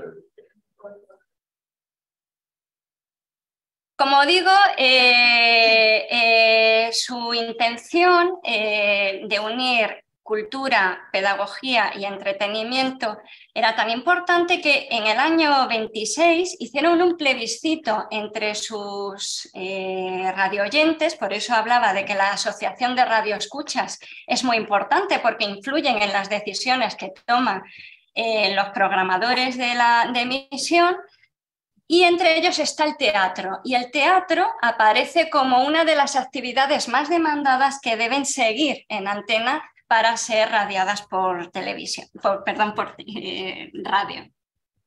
Ya en el año 1926, después de insistir y de protestar mucho, consiguen una ampliación de horario y ya ven ahí los puntos de cómo están eh, instalados a nivel nacional, ¿no? cómo realmente han conseguido el monopolio.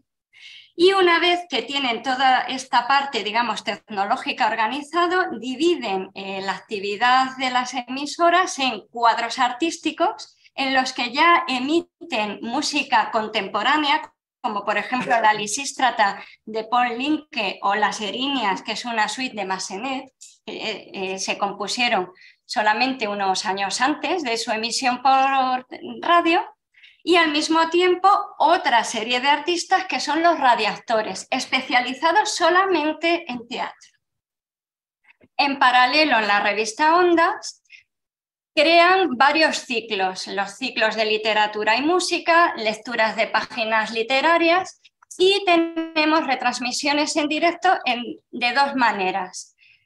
Llevando el micrófono, por ejemplo, al liceo o a un teatro privado, y eso hace que luego la gente compre la entrada para ir al teatro privado a ver la obra. Y eso lo vamos a encontrar estrenos en, en teatros estables que luego llegan a la radio.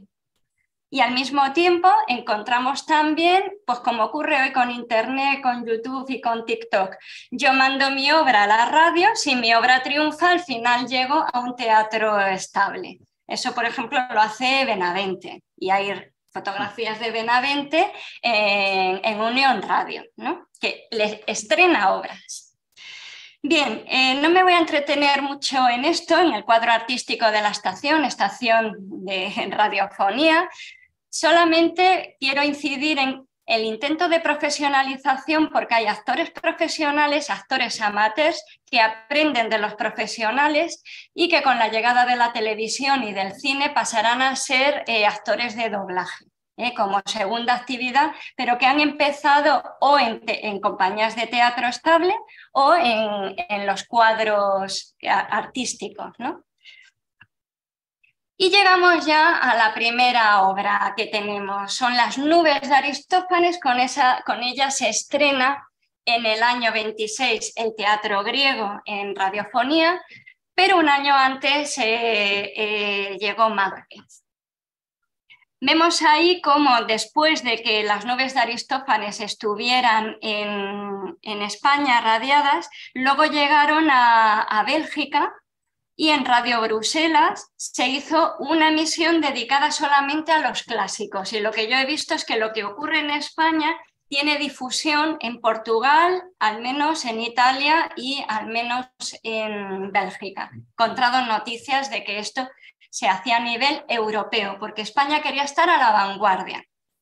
Debo decir que después de que se emprendiera la retransmisión en directo de la Medea de Séneca, la Arena de Verona hizo su primera retransmisión en directo. ¿Eh? Bien, eh, esto como curiosidad, ¿no? Pero voy a las nubes de Aristófanes. Del adaptador solamente sé que es este señor que aparece en la revista Ondas. No he encontrado ninguna noticia sobre él, pero eh, elige las nubes en un momento en el que en la dictadura de Primo de Rivera hay una reforma educativa. Y las nubes de Aristófanes tratan sobre los problemas educativos en la Grecia de ese tiempo.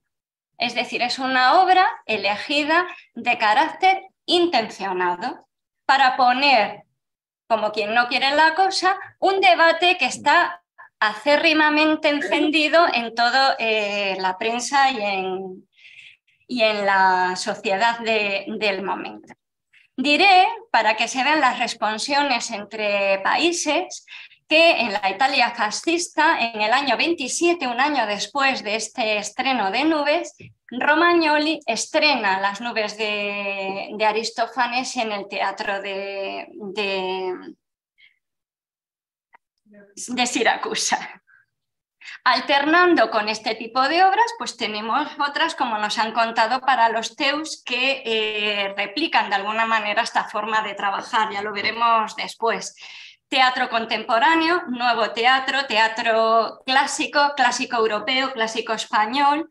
Y eh, antes de radiarse una obra, se explica la obra. Entonces, en la revista Onda, lo tenemos aquí, se da la explicación de quién es el autor, cuál es la obra, cómo se interpreta la obra si es una obra muy difícil, por ejemplo esta del Rey Lear, cuándo se va a emitir y se dan las guías de interpretación. Se da como una mini conferencia por escrito, que es una actividad que Adrià Gual, desde 1903 en Barcelona, ya hacía con el teatro clásico. Igual, si eh, llevaba a escena un Aristófanes, luego hacía un encuentro con el público y les explicaba Aristófanes, quién era Aristófanes, quién es Lisístrata. Es decir, la radio importa una forma de hacer teatro que ya se hacía, al menos con el teatro clásico, en la Barcelona de, de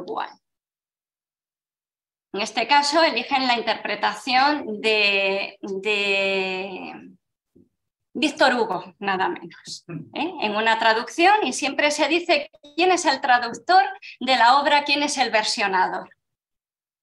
En otoño del 26, precisamente porque esto no es entretenimiento ni un porque sí, sino una forma de llegar masivamente, llevar el teatro masivamente a los hogares, escriben un, artículo en la revista Ondas en el que dice hace falta un teatro radiofónico que tiene que seguir profesionalmente una sistematización, la reducción de la duración de las obras, porque el oído se cansa antes que la vista, eliminación de personajes que estorben a la trama, el relleno, un nuevo personaje que oficie de explicador, si oyen los podcasts que se conservan de los años 60, tenemos el explicador para el gran público, que es el coro, cómo funciona el coro, cómo es los dioses, etc. Actores, aunque la figura no les acompañe, no necesitamos guapos, lo que necesitamos es buena voz. ¿Qué es una buena voz en teatro radiofónico? El timbre, la cadencia. Y lo que más me interesa, esto para teatreros eh, reunidos, la función del silencio en el teatro y van a la contra de lo que en ese momento teóricos como eh, Jean Valmives eh, teorizan que las pausas en el micrófono deben ser habladas, dicen los de la radio. Mientras que en otros sitios se dice, no, en la radio no puede haber silencio porque la gente se va. Y ellos dicen, es que el silencio es dramático. ¿eh? Y por supuesto con las ilustraciones musicales. Como venimos de la institución libre de enseñanza, no nos olvidemos en dónde estamos, eh, se habla del teatro radiado, un nuevo arte, como teatro estatal, teatro para todos, teatro además gratis. No tienes más que encender, darle al botón y ya lo tienes en tu casa. Y llegamos al año 30 y, a la Medea de Eurípides. Esta, la noticia de esta Medea fue, la verdad, la puerta de entrada a esta investigación, porque cuando lo vi en un anuncio por palabras al lado de, eh, en la vanguardia, encima de una crema para las hemorroides, dije, esto? ¿Quién en noviembre, con ese frío en otoño, a las 10 de la noche, oye por la radio una media de Eurípides? ¿Esto de qué va? Y esa realmente fue la, la puerta de entrada a esta investigación. Esta persona, Fernando Matilla, catedrático de Geografía e Historia, es el que firma la, la retransmisión, que fue un exitazo, según nos dice la revista onda y como luego se reflejó también en, periódicos de tirada nacional, tanto es así que se repuso hasta tres veces esta media. Ahí vemos cómo se va repitiendo, cómo se explica la media de Eurípides para que la gente la siga y el texto que se eligió de la Compañía Iberoamericana de Publicaciones, este del año 23, fue la base de, la, de esta comedia. ¿Quién es este? Me voy a ir para atrás. ¿Quién es este eh, Fernando Mantilla? Pues Fernando Mantilla era una persona afiliada al Partido Comunista, una persona eh, muy conocida en cine, José Luis lo sabrá bien, eh, que grababa documentales para eh, dar a conocer las malas condiciones de trabajo en la agricultura, en el mar, etc. Era un militante comunista que con la guerra evidentemente tuvo que, tuvo que exiliarse y que además nos ha dejado unas páginas muy interesantes sobre eh, la relación entre teatro, cine y televisión que está comenzando en Estados Unidos. ¿eh? Esta Medea surge en un momento en el que dentro de la dictadura de Primo de Rivera se habla y se escribe y se teoriza, y hay tratados al respecto, sobre qué debe ser un hombre español. ¿Cuál es la esencia del hombre español y cuál es la esencia de la nueva mujer española en esta época de los 30, en la que por un lado tenemos el movimiento feminista en Europa y por otro lado pues tenemos eh, la ideología de Primo de Rivera. esto está todo en prensa, hay muchos artículos al respecto y este pues decide, elige una media en la que tenemos dos modelos de hombre y de mujer muy potentes y muy característicos. Dos años después vuelve el teatro griego a la radio con un Pluto, Ah, un Pluto otra vez con Martín Becerra, este desconocido autor. Pluto es una eh, obra que trata sobre el mal o buen reparto de la riqueza. En el año 32 hay una crisis económica terrible en España, se llama el año del hambre, y por tanto otra vez volvemos a encontrar la elección de un título de una obra de Aristófanes en relación a un problema social que está en la calle.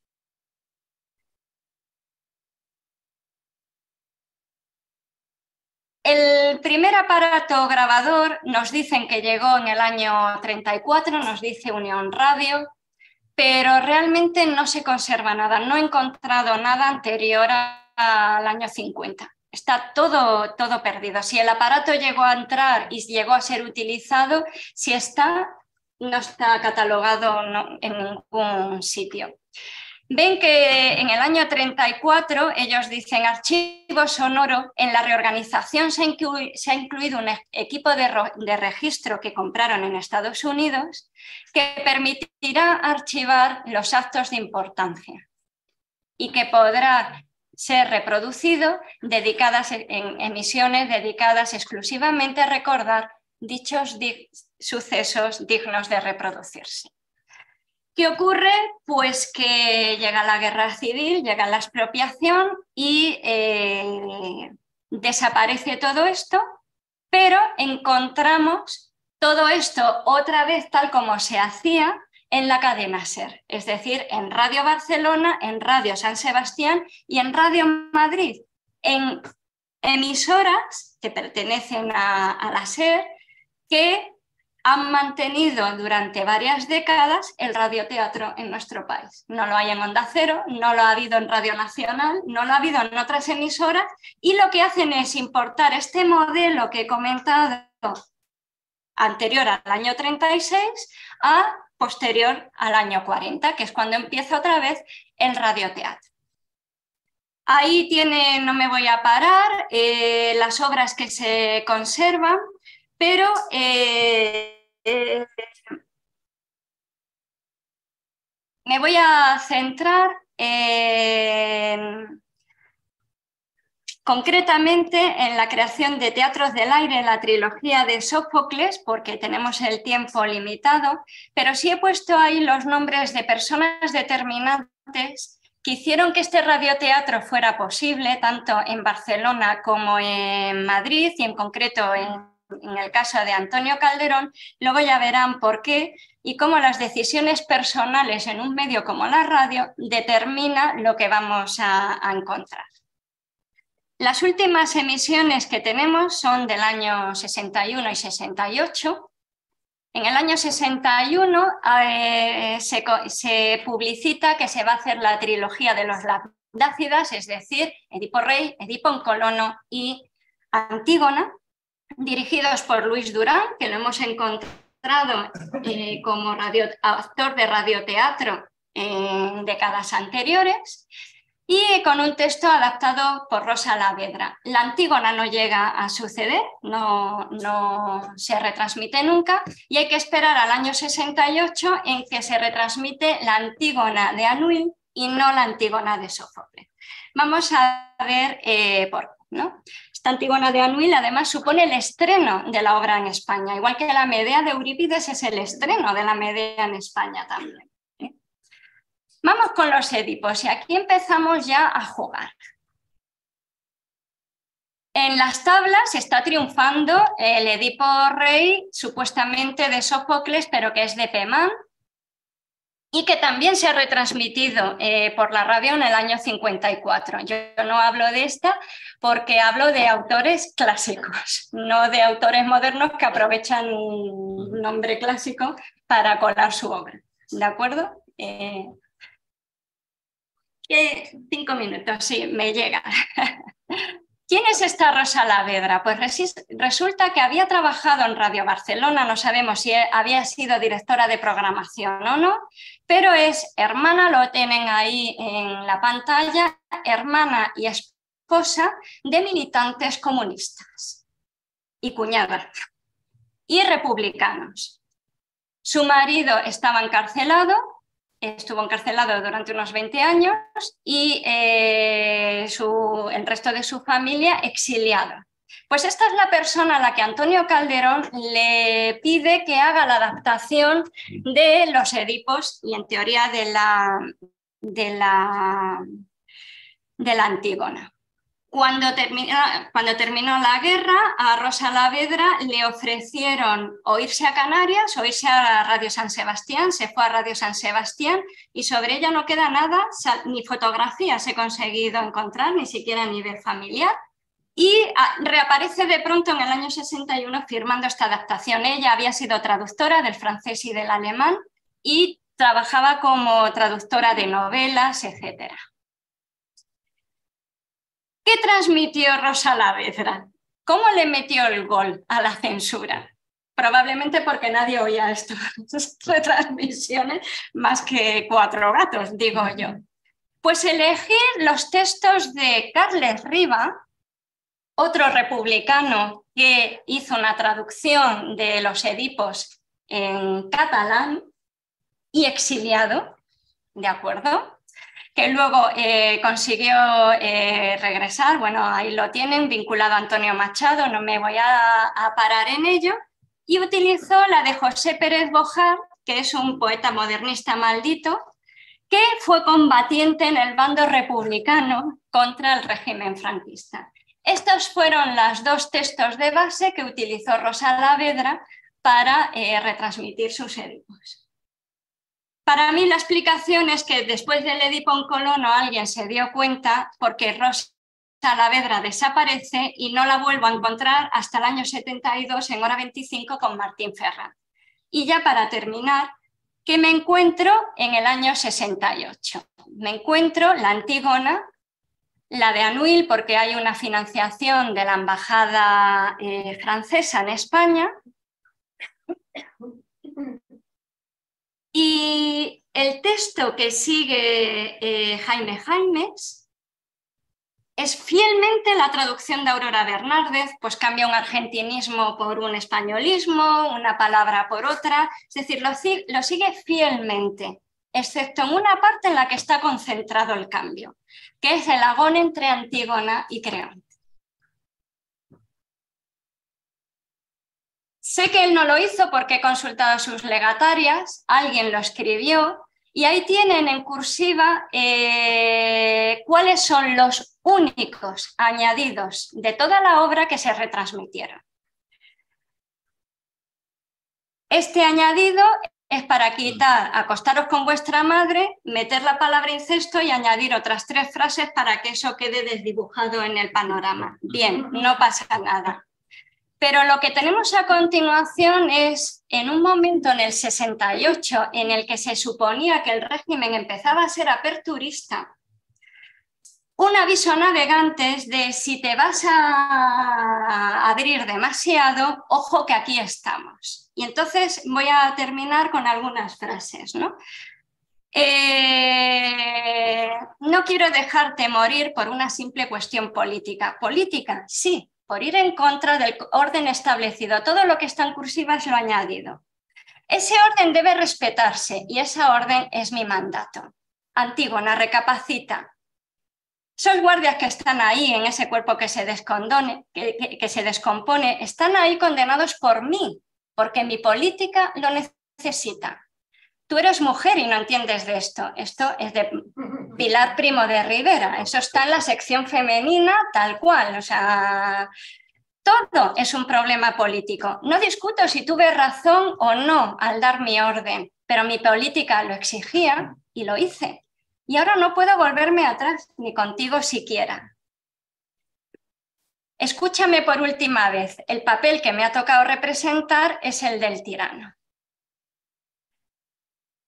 Recapacita. Yo sé bien cuál es mi papel, pero quiero que tú también estés segura del tuyo. Tiene algunas lindezas, por ejemplo, no me quiero, eh, porque hay dos personas que van a intervenir ya. Bueno, no lo he puesto, en el que eh, hay un añadido en el que Creonte dice en el texto de Anuel, no quiero, quiero voy a condenarte a morir. Y solo se transmite, voy a condenarte.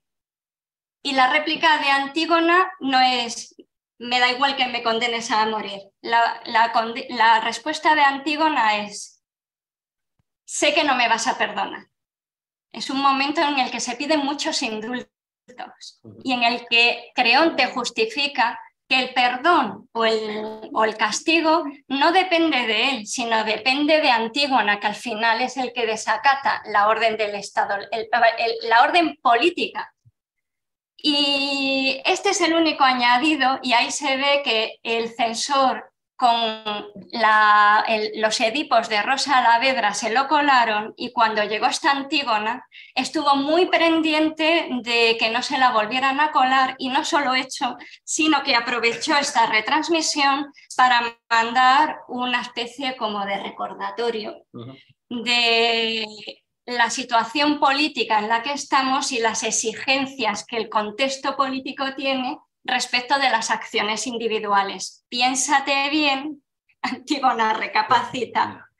Eh, sabes por qué vas a morir, Antígona, ¿no? que es otro añadido. Y con esto, bueno, en breves pinceladas, eh, quería comentar pues, eh, hasta dónde hemos llegado en esta investigación y la fuerza que, tiene, que ha tenido la radio a nivel cultural, a nivel social, eh, dentro de lo que es nuestra cultura y nuestra historia. Muchas, gracias, por la oportunidad.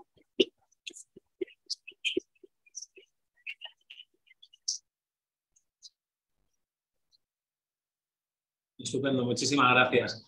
Eh, si os parece, vamos al siguiente comunicante de la, de la mesa y dejamos las preguntas para el final, así no nos, eh, no nos enrollamos demasiado. Eh, Rodrigo. Aprovecho para hacer una breve presentación. Una breve presentación para ti. Muy breve, breve brevérrima. Eh, Rodrigo Francisco da Silva es director de la compañía de teatro de Almada y de su famoso festival eh, veraniego. Él, es ah, dramaturgo, director de escena y ha trabajado par con par eh, con Joaquín Benítez, el, histórico director de compañía y festival. Eh, es autor muy reconocido en su país y nos viene a hablar de uno de los elementos, uno de los totalitarismos que más está ahora, mm, que, más, eh, que más está vibrando en la escena, ¿no? Porque esta, esta generación que conformáis tú, eh, que también está Rodríguez y está teniendo ahora una revisión de su propio pasado, digamos, o el propio proceso de lo que es la, la, memoria histórica dentro, de, dentro del país vecino. Eh, que necesitamos conocer y escuchar. En este caso, nos va a hablar de nuestra guerra, poner escena la guerra colonial portuguesa, 1961-1974. Bien. Con esto, Gracias por la, por la invitación. Yo voy a intentar hablar en español. Espero que me entiendan. Si alguien no me entiende, que lo diga. Puedo intentar en gallego, pero sería peor. Um, bueno, uh, sí, eso, ese es el título. Yo no tengo nada de, de, de vídeos para darles. Eh, tengo un programita del espectáculo porque, porque no lo sé hacer y creo que es siempre cuando se habla de algo que ya no existe, que es una obra de teatro que ya se hizo, no, se pierde siempre algo cuando estamos mostrando grabaciones o algo así y quizás vosotros pueden, puedan imaginar que fue mucho mejor de lo que fue en realidad. Les cuento cómo, cómo fue. Bueno, esta, esta, esta guerra, nuestra, nuestra guerra, es sobre todo, es también, un, como dices, un, un, proyecto sobre generaciones de, de teatreros. Porque nosotros tuvimos la guerra colonial entre 61 y 74 y hablar de la guerra colonial para mi generación en Portugal es diferente de aquí. Vosotros, vos, vosotros han tenido una guerra, pero vuestra guerra, usted, su padre estaba, eh, existía durante la guerra civil, usted también, quizás ese señor también, pero tu padre no estaba vivo durante, o sea, es diferente. Y, eso, y eso fue el punto de partida para ¿Por qué? Porque mi padre no estuvo en la, en la guerra. Eh, hizo una, algo no muy legal, creo, para no irse a combatir como muchos otros. Lo que pasaba en Portugal es que quien tenía pasta podía escapar al extranjero, quien tenía una actividad política con el partido quizás pudiera también. Aunque el Partido Comunista eh, decía, la indicación era para que la gente fuese a la guerra y que desde ahí con los soldados hicieran una actividad política. En realidad, el golpe de Estado de la Revolución de los Claveles está, hecha por, está hecho por gente que combatió en África y gente que no quería continuar con la guerra.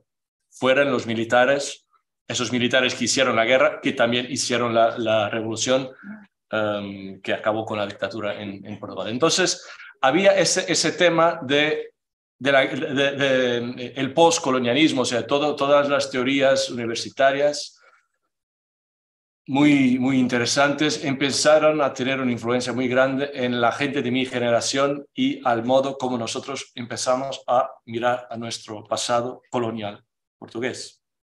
Y había muchos autores y autoras que eh, daban una, hacían espectáculos sobre la dictadura y sobre eh, la guerra, la guerra colonial, qué pasó. Y yo, eh, que no mm, tenía una relación directa con la guerra, aunque si pensamos que un millón de, de, jóvenes combatió, jóvenes portugueses combatió en la guerra, y si ese millón se casó por lo menos una vez y tuvo por lo menos un hijo, estamos hablando de tres millones de personas, un tercio de la población portuguesa que está directamente relacionada con eso. Y de la guerra no se habla. No sé si, vosotros, si vuestros padres les hablaban de la guerra civil, no sé si combatieron o no, pero en Portugal, como en tantos otros sitios, de la guerra no se habla. Yo nací en 81, tengo un tío que combatió en la Guinea, porque la guerra fue en Angola, Guinea y Mozambique. Uh, murieron alrededor de 8.000 portugueses, casi nada. Uh, comparando con el millón que se fue a combatir, el ratio comparado con el Vietnam es casi nada. Se calcula que 2, 3 millones de africanos independentistas uh, murieron pasaran cosas muy sucias, eh, como en todas las guerras. Y lo que la gente de mi generación empezó, o los espectáculos que yo uh, yo veía como que un juzgamento de, la, de, de, sus padres. O sea, tú fuiste a la guerra, tú eres un facho, tú eres un racista, porque fuiste a combatir los negros. ¿Cómo, cómo es posible que habías hecho eso? Y eso me, me daba algo que no era muy honesto, creo. O sea, nosotros que somos teatreros tenemos ese vantaje de siempre poder mirar a las dos, a las dos verdades que se ponen en conflicto.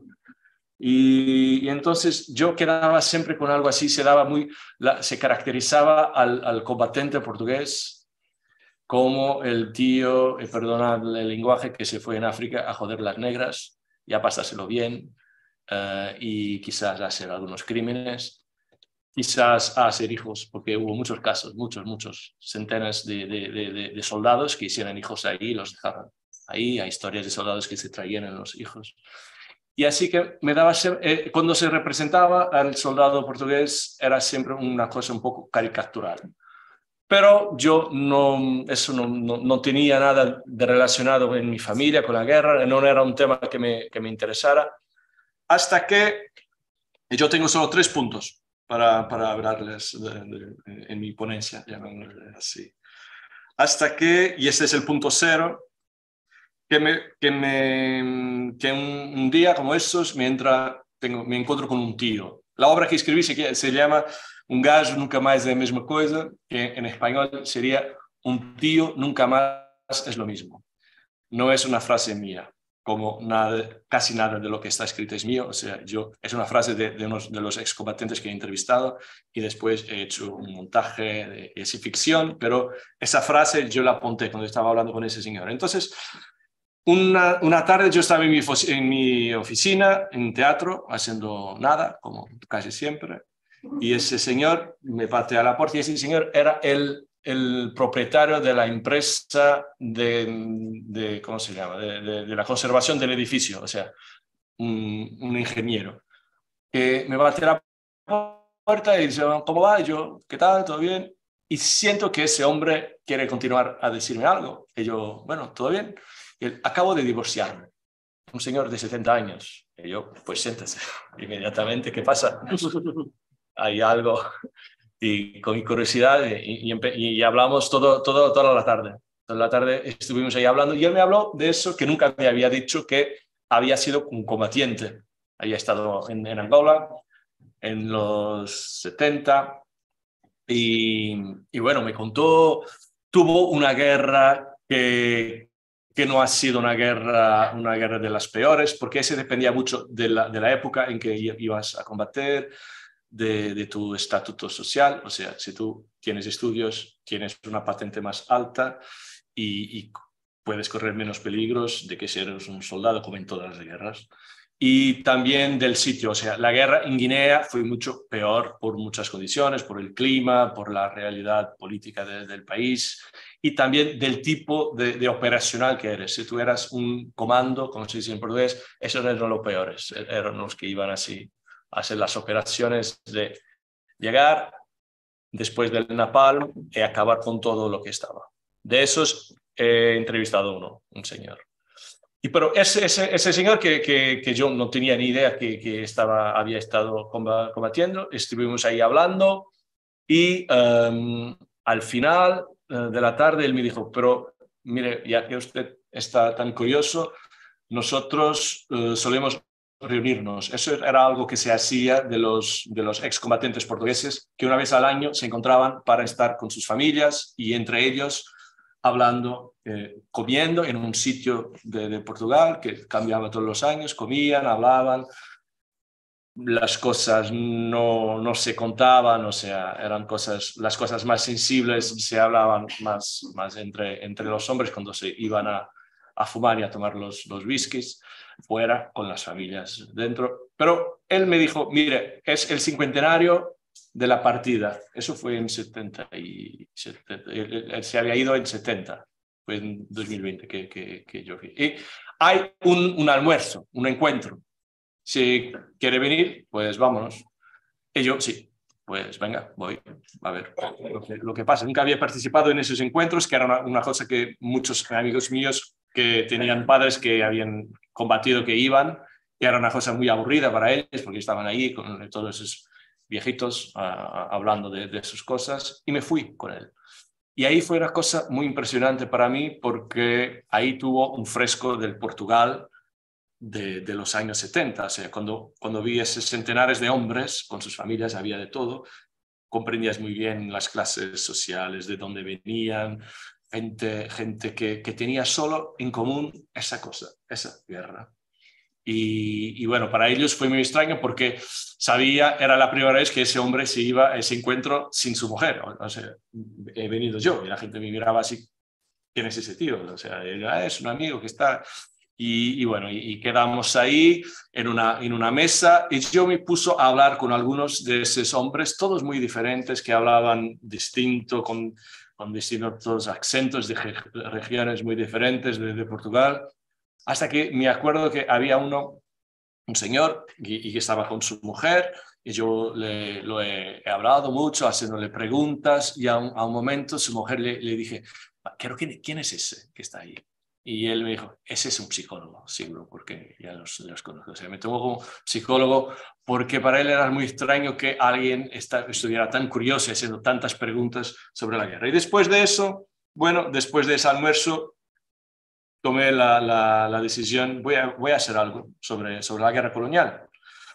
Em, voy a intentar a, a, a entender su punto de vista de esos, de esos hombres. Voy a intentar salir del, del, punto de vista esquemático, que es lo más común y que yo veo en la escena, que es vosotros son criminales porque se han ido a, a matar los negros y, y, hacer crímenes de guerra y, han soportado, han sido vosotros soportes de un régimen fascista. Porque además el punto, eh, hay un punto que dramáticamente es muy interesante y que quizás pueda eh, explicar cómo esos hombres ahora se están acercando de la extrema derecha. Y eso era que me interesaba. ¿Por qué? ¿Por qué? ¿Por qué se están aproximando de la extrema derecha? Es que esos hombres se fueran a combatir como, como héroes. O sea, el régimen, decía vosotros, es a, a, defender Portugal, porque Portugal no se termina en Algarve. Portugal también es Angola, Mozambique, Cabo Verde, Guinea. Eso es Portugal y hay eh, grupos de terroristas que están haciendo ataques siniestros. Además, el inicio de la, de la guerra, no sé si, vosotros lo, sabéis, yo no lo sabía, fue uh, en 61, cuando en el norte de Angola hay una, una, una, organización política que se llama UPA, que hizo masacres de, de, colonos, de colonos portugueses. O sea, y, fue muy, y es muy impresionante mirar estas fotografías. En la época, en la ONU, los, los enviados políticos portugueses las, las, las mostraran, de, de, de críos devolados, de mujeres violadas, una cosa muy impresionante. Entonces, los primeros combatientes que fueron en Portugal fueron a defender los ataques terroristas, fueron a defender los portugueses que estaban ahí de los ataques terroristas. Claro que hoy decimos, mira, pero ahí no era Portugal. Pero ellos dicen, sí, sí que era Portugal. Mm. Y entonces, ¿en qué quedamos? Y ese es un problema. Ese es un, problema. Y, sobre todo lo que me interesó fue cómo podía un joven de 20 años, muchos de, Portugal no es un país tan grande como España, o sea, tenemos así 200 algo kilómetros de costa y algunos de esos hombres de 20 años han visto el mar por la, la mar por la primera vez cuando se fueron a combatir. Estamos hablando de un país con una, ignorancia impresionante. La gente estudiaba cuatro años para leer y escribir y ya está. O sea, un país que vivía eh, en, que, en el cual las mujeres no podían salir a, extranjero sin, sin autorización del, hombre. Un país que vivía sobre una dictadura, eh, sujugado a una, a una dictadura, un pueblo que no podía estudiar, ¿Cómo puede alguien de mi generación juzgar a alguien que se fue a combatir? Eso es, es, es, es, complicado. Es complicado porque esos hombres hicieron crímenes de guerra. Esos hombres estaban luchando por un Estado fascista, pero tenían esa conciencia. Y los nazis. Hay siempre un límite. Porque, porque cuando hablo con gente que discutiendo ese tema, sí, sí, sí, pero ¿y los nazis? Y con los nazis ya es más complicado. O sea, es como si nosotros tuviéramos un grado de hasta dónde se puede ir, hasta dónde, yo no sé cómo es España, pero imagino que con una guerra civil ha sido una cosa mucho más complicada, que ha dividido familias y todo eso. Entonces, estamos en ese territorio del posguerra, y, y fue ese, ese posguerra que ahora estamos viviendo y cómo se representa, la, cómo esos hombres representan la memoria de la, de la guerra que me, que me interesó. Y entonces, pues hizo entrevistas, he entrevistado a tres excombatientes porque es inmenso, es una inmensidad, es, es, o sea, no, no podía uh, por, ponerme a estudiar tanto para escribirlo porque aún ahora estaría estudiando. Hay gente que está publicando muchas cosas sobre cómo esos hombres han construido la, memoria, cómo la representan. Y yo lo que hizo fue entrevistar a esos tres excombatientes, ese hombre que me entró en la oficina, tengo muchas horas, y después un, otro hombre que ese, ese sí fue un comando, ese sí practicó crímenes de guerra, había publicado una obra porque después hubo mucho, muchos hombres que quisieran escribir y publicar. Y, es, y, y, él escribió y comunicó un crimen de, de guerra, o sea, un abate de, de, una, una, una, de, una, persona de la población civil, que está descrito porque tuvo que vivir con eso por toda su vida. Um, y ese hombre también me dio una cosa, una cosa muy preciosa, que es um, las grabaciones que él utilizaba y él tenía un, un, radio de casetes y entonces comunicaba con su novia, uh, grababa las casetes y le mandaba, su novia grababa casetes y le mandaba y él tenía esas casetes, las pasó a, formato digital y me las dio. Y hoy tenía una, cosa como una cápsula del tiempo, porque yo escuchaba, escuchaba a él con 20 años muy curioso, con, un, acento del norte del Portugal que ya no tiene hoy, uh, y con sus compañeros, de sus, los otros soldados en, en, la caserna, haciendo fiesta, bebiendo whisky, y, como hacen los, los, los chicos de, de, 20 años de, de, la época. Y tenía ese material, uh, hizo, hizo más entrevistas y, y me puso a escribir esa, esa obra, que, que es un texto Mm, entre la narración y, y, el diálogo es como si estuviéramos dentro de la cabeza de ese hombre y es algo que él llega y dice que puede hacer que, puede ser alguien que acaba de se divorciar ¿qué voy a hacer? ¿qué, voy a hacer? Entra en ese y dice acabo de divorciarme ¿qué voy a hacer? bueno, voy a comer y empieza, empie, empezamos dentro de, la, de, la, cabeza de ese hombre con, con mucha música, música de lo que escuchaban de, la época. Y lo que pasa con ese, con ese hombre, que es un, un, ser ficcional que yo he construido a partir de, las biografías de esos tres hombres, es alguien cuyo, cuyo, cuyo no, que, que su hijo se casa con una, o está, o está con una chica africana, una, que podría ser una buena representante de la woke generation, no, no sé cómo se dice aquí en España. Woke generation, es, es excombatiente que tiene un hijo que, que, está casado con esa chica que es negra y es muy woke. Y, y bueno, y acaba de divorciarse. Y, y, la pregunta cuando yo estaba siempre escribiendo es, ¿por qué se divorcia ese hombre? ¿Por qué alguien con 70 años se va a divorciar? ¿Por qué? ¿Qué le pasa? Estuvo casado 20 años con esa mujer, tiene dos hijas, tiene y quiere divorciarse. ¿Por qué? ¿Quiere divorciarse de qué? ¿De ella o de la guerra? Yo creo que él vivió toda la vida. Son hombres que tiene, están ahora alrededor de los, entre los 70 y los 80. Eh, están llegando a ese momento de, de, la vida en que están pensando, bueno, la, la muerte va, va a llegar son hombres que tuvieran que lidiar con la muerte toda la vida, tuvieron que, que lidiar con todo lo que han vivido, y sobre todo son hombres que se están, y eso ahora puede ser un motivo para el debate, que se están aproximando de la extrema derecha. ¿Por qué? Porque las izquierdas les están diciendo vosotros han sido fachos y han combatido. Y el efecto ahora es que esos hombres, hablando con ellos, veo que se están aproximando de los que los, les dicen, no, no, vosotros son héroes. Vosotros han partido como héroes y, y, son héroes porque han combatido por la patria. Vosotros tenéis derecho, tenéis derecho a, a, a pase social, o sea, a no pagar en los transportes. Tenéis derecho a uh, asistencia en la salud porque han combatido. Y si yo soy un excombatente, yo voy a votar por ellos, por el correspondiente al Vox en Portugal. Y eso sí, me preocupa mucho porque eso sí, eso sí es la responsabilidad de la gente de mi generación. Es legítimo juzgar a esos hombres hasta qué punto. Para, para, para, terminar, cuando, cuando estuvo ahora nuestro primer ministro, que es socialista como el vuestro, Antonio, Antonio Costa, pero es un socialista que tiene la mayoría absoluta en, en Portugal, estuvo en Mozambique y eh, pidió por la primera vez como, como gobernante portugués perdón por los crímenes de guerra, por un, un masacre que es el masacre de, de Viriamú.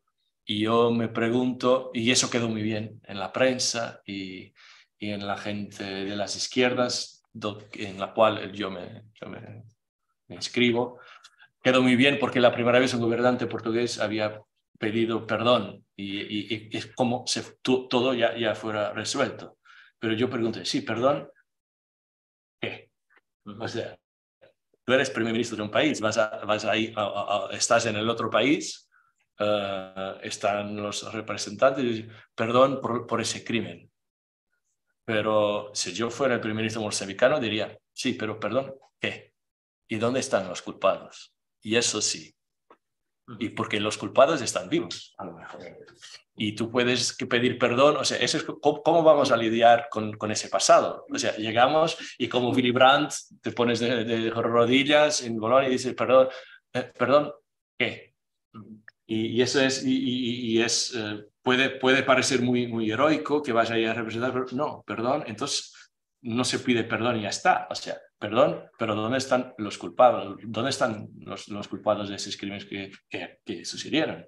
Porque en Portugal lo que pasó, como vosotros sabéis, como he dicho al inicio, todos esos crímenes de guerra que se practicaron tuvieron que ser silenciados porque las mismas personas que hicieron los crímenes son las que hicieron la revolución que libertó Portugal del fascismo. O sea, desde el punto de vista dramatúrgico, eso es muy interesante. Entonces tuvo que caer todo ese silencio, como yo imagino que cayó aquí en España con el silencio cuando, cuando fue de, de la guerra civil, porque la gente tiene que continuar a vivir. Sé que hay ahora la ley de la memoria, estoy muy atento a, a, a, seguir, porque, porque de un lado sí que tenemos esa pulsión de no, eh, no es justo que los fachos estén representados en el espacio público, pero eso, ¿hasta qué punto vamos, vamos a llegar? ¿A derrubar monumentos? No lo sé, no estoy seguro, no estoy seguro de eso. Bueno, esto es lo que, lo que tenía. Gracias, muchas gracias.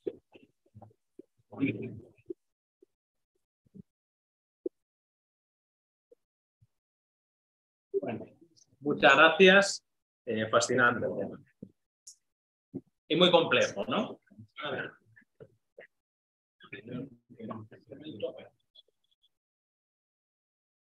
Que yo aquí tengo que hacer también de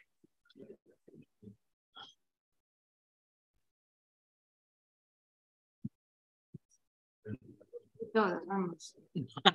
bueno, me voy a tocar alguna cosita, alguna cosita sorpresiva. Pero, el...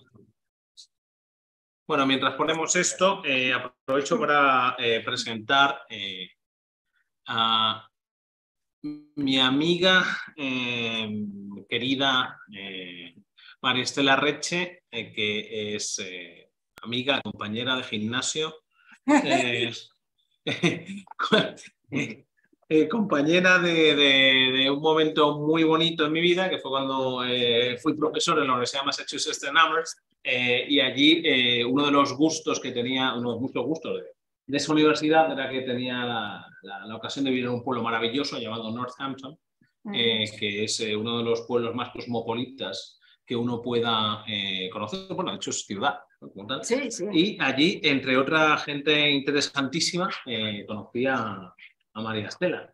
Ella es catedrática en Smith College, que tiene, bueno, yo no estaba en, yo estaba en Newmas Amherst, en otra universidad muy cerquita, todos son es un núcleo eh, de, distintas universidades pequeñas y está grande, la que estaba yo, eh, y el, ella está en uno de los mejores colleges del, de, del país, el, el, College de Smith, eh, una, una institución interesantísima que tiene además eh, muchas conexiones con la eh, muchas conexiones con la España del exilio, uh -huh. eh, porque allí fueron gente de la, de la residencia de estudiantes, de la residencia de señoritas, eh, ahí hay documentación en los archivos, en los archivos de Smith, hay, hay documentación muy importante, muy, muy importante.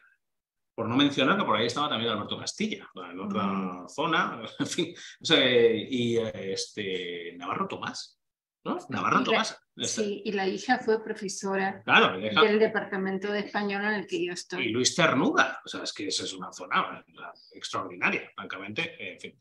Eh, pero bueno, como la vida es así, luego uno se viene a esta eh, tribu eh, madrileña, pues estoy tan feliz, pero pues, pues, de vez en cuando tengo el gusto de traerme a alguno de los, alguno de los americanos. ¿no? Y aquí vamos a presentar al, el teatro de, de Aristides Vargas y el último coup d'etat en la Argentina, en una especie de diálogo a dos voces que tendremos en un momento más adelante y en el que yo voy a cumplir una función totalmente ancillada. Así que con, con ustedes, María Esther. Muchas gracias, eh, Javier y Julio, por esta invitación eh, y a ustedes por eh, asistir hoy y compartir conmigo. Eh, voy a hablar del caso de Argentina. A todos nos ha tocado un poco de esto, de los totalitarismos.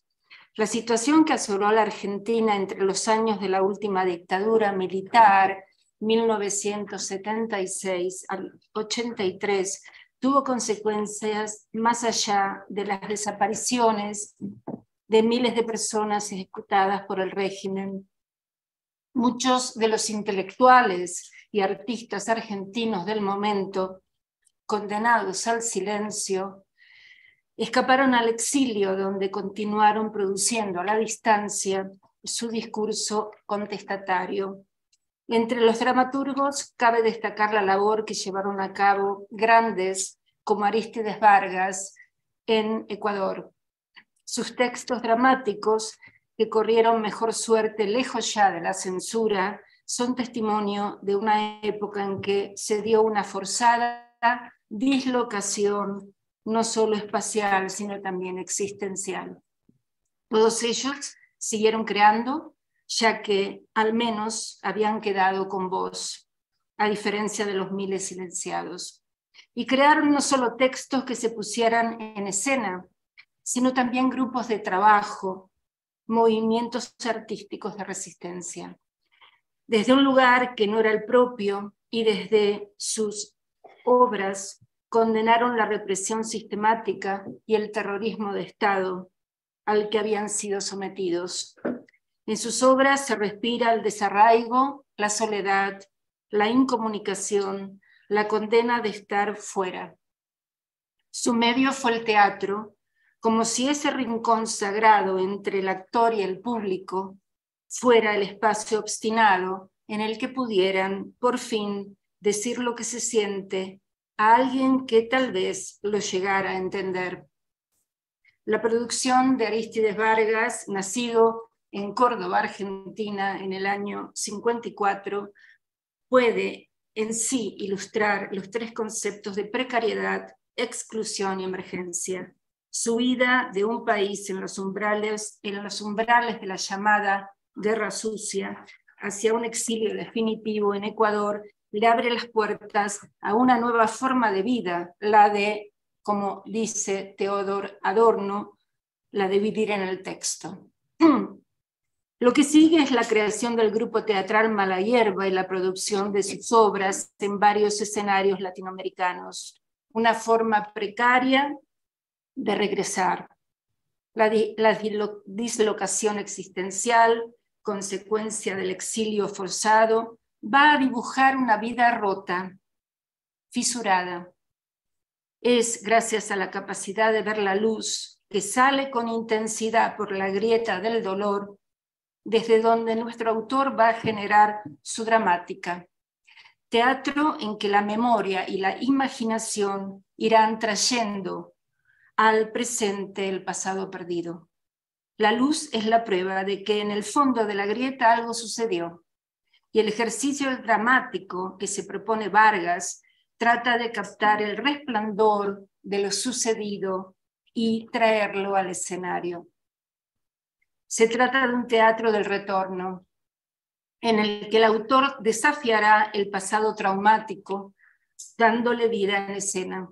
Dos obras de entre la vasta producción de Vargas son las que me interesa analizar en este trabajo y en la medida de las posibilidades del tiempo. La primera es La razón blindada, una obra del 2006, y la segunda es Instrucciones para abrazar el aire, del 2012.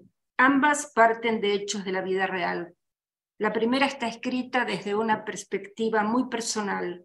La anécdota que generaría la obra fue tomada por Arístides de lo que le contó su hermano Chicho Vargas, preso en la cárcel de Rawson por, por aquellos años, una cárcel de prisioneros políticos ubicada en el sur de Argentina.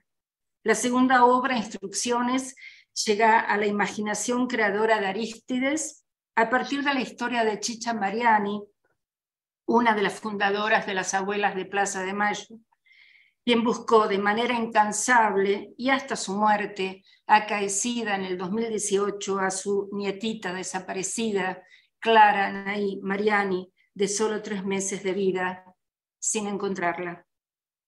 Comienzo por la razón blindada, subtítulo Don Quijote en Rawson. En la razón blindada se nos muestra a dos prisioneros políticos, quienes, según la historia narrada por Chicho de su experiencia vivida en la cárcel, tenían permitido escapar de su diario confinamiento una vez por semana, donde encontrarían un punto de encuentro en el que actuar relatos que imaginaban. Partiendo de esta idea, Aristides va a crear un mundo ficcional en que estén presentes la precariedad y la fragilidad en la que viven los prisioneros políticos, lo que no sucede en la historia real, pero que va a ser parte de la ingeniosa creación de Aristides Vargas, es que durante el corto lapso en que les es permitido reunirse, los protagonistas se dedican a construir y actuar en la prisión relatos que recrean la historia de Don Quijote y Sancho Panza. Son los personajes de Cervantes los que van a dar vida a ese encuentro de cada domingo. La atmósfera que enmarca estos encuentros es la propia del teatro del absurdo, con ecos notorios de Kafka y Beckett, y con un fino humor negro lleno de referencias culturales y literarias.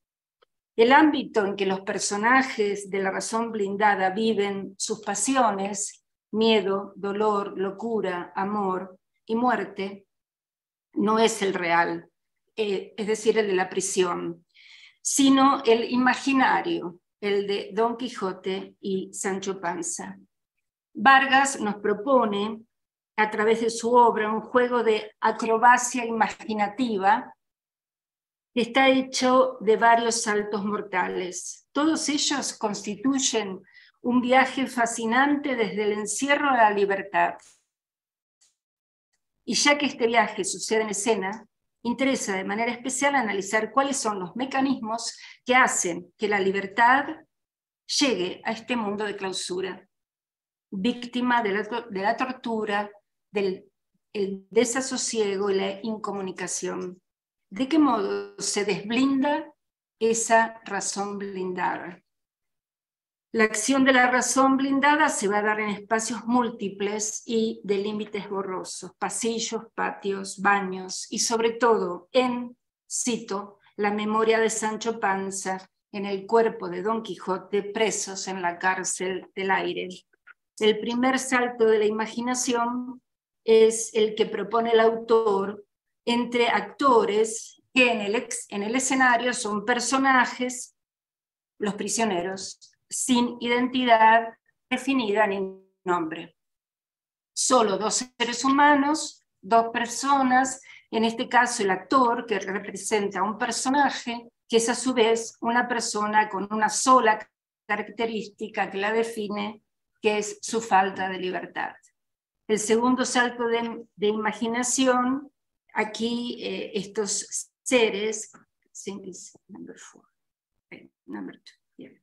eh, estos seres que habitan en un mundo cerrado se ven transustanciados, sin explicación alguna por parte del autor, pero con el obvio referente de los personajes cervantinos en De la Mancha y Panza. He aquí el segundo de los saltos de la imaginación que nos propone Vargas, con sus respectivas máscaras estos dos seres, los prisioneros, hablan del plan que tienen para fugarse. ¿Sabe? Sí. Lo que vamos a hacer el domingo es un túnel. ¿Un túnel? Sí, un túnel intangible. ¿El domingo? Este domingo y todos los domingos. Me gusta. Ese túnel intangible será la esperanza, el camino que han de construir hacia la libertad. Hay varios planos que constituyen esa franja ambigua en la que nos encontramos inmersos todos, actores, personajes y público. El primer plano es el de la realidad escénica ficcional, el que vemos y a cuya representación asistimos. Dentro de este plano hay un segundo plano en el que habitan dos actores, personas, personajes sin nombre, que han decidido interpretar, es decir, ser de la mancha y panza. Esa transustanciación no es solo física, sino también psicológica y emocional. Ellos hablan y actúan desde allí, su nueva identidad, aunque por instantes la, máscara se quiebra y dejan escapar al, al prisionero, que vive después de todos los rigores de tener que acatar órdenes. La vigilancia es, es constante, al igual que el acecho. Ellos viven sin que se les note que están viviendo. Saben que la tortura está a solo pasos de distancia, en la habitación contigua. En la sala de tortura pensé en los días domingo. Ah, ¿Sí? Sí, porque los días domingo, mi querido Panza, a las tres de la tarde, usted y yo nos fugamos y no volvemos nunca más al horrendo lugar del castigo. Don Quijote y Sancho Panza, según nos dice el autor, están también presos, presos en la cárcel del aire. En ella no existen guardias ni tortura y siempre se puede luchar por la justicia. Nuestros personajes anónimos se van a proyectar en los cervantinos en un salto esperanzado de la imaginación. La realidad en la que viven los prisioneros es una cárcel donde la razón ha sido blindada, acorazada, con planchas metálicas a prueba de balas y donde no tienen permitido comunicarse, ni siquiera pensar. Entonces, ese tipo, el que está mirando ahora. ¿Dónde está? Detrás de usted, no lo mire. ¿Qué le dijo? ¿Pensó? ¿Mm? El señor pensó, ahuecó la voz y siguió. ¿Qué tiene que pensar el señor? Ah? Uno de los motivos recurrentes a lo largo de la obra es el de desestabilizar la realidad. Todo es relativo, pero a la vez hay coherencia lógica en su relatividad. Recordemos el comienzo del Quijote. En un lugar de la Mancha, de cuyo nombre no quiero acordarme, veamos lo que dice Panza en nuestra obra al respecto. La Mancha, en ese lugar que es ninguno, ocurrió esto que en realidad nunca ocurrió.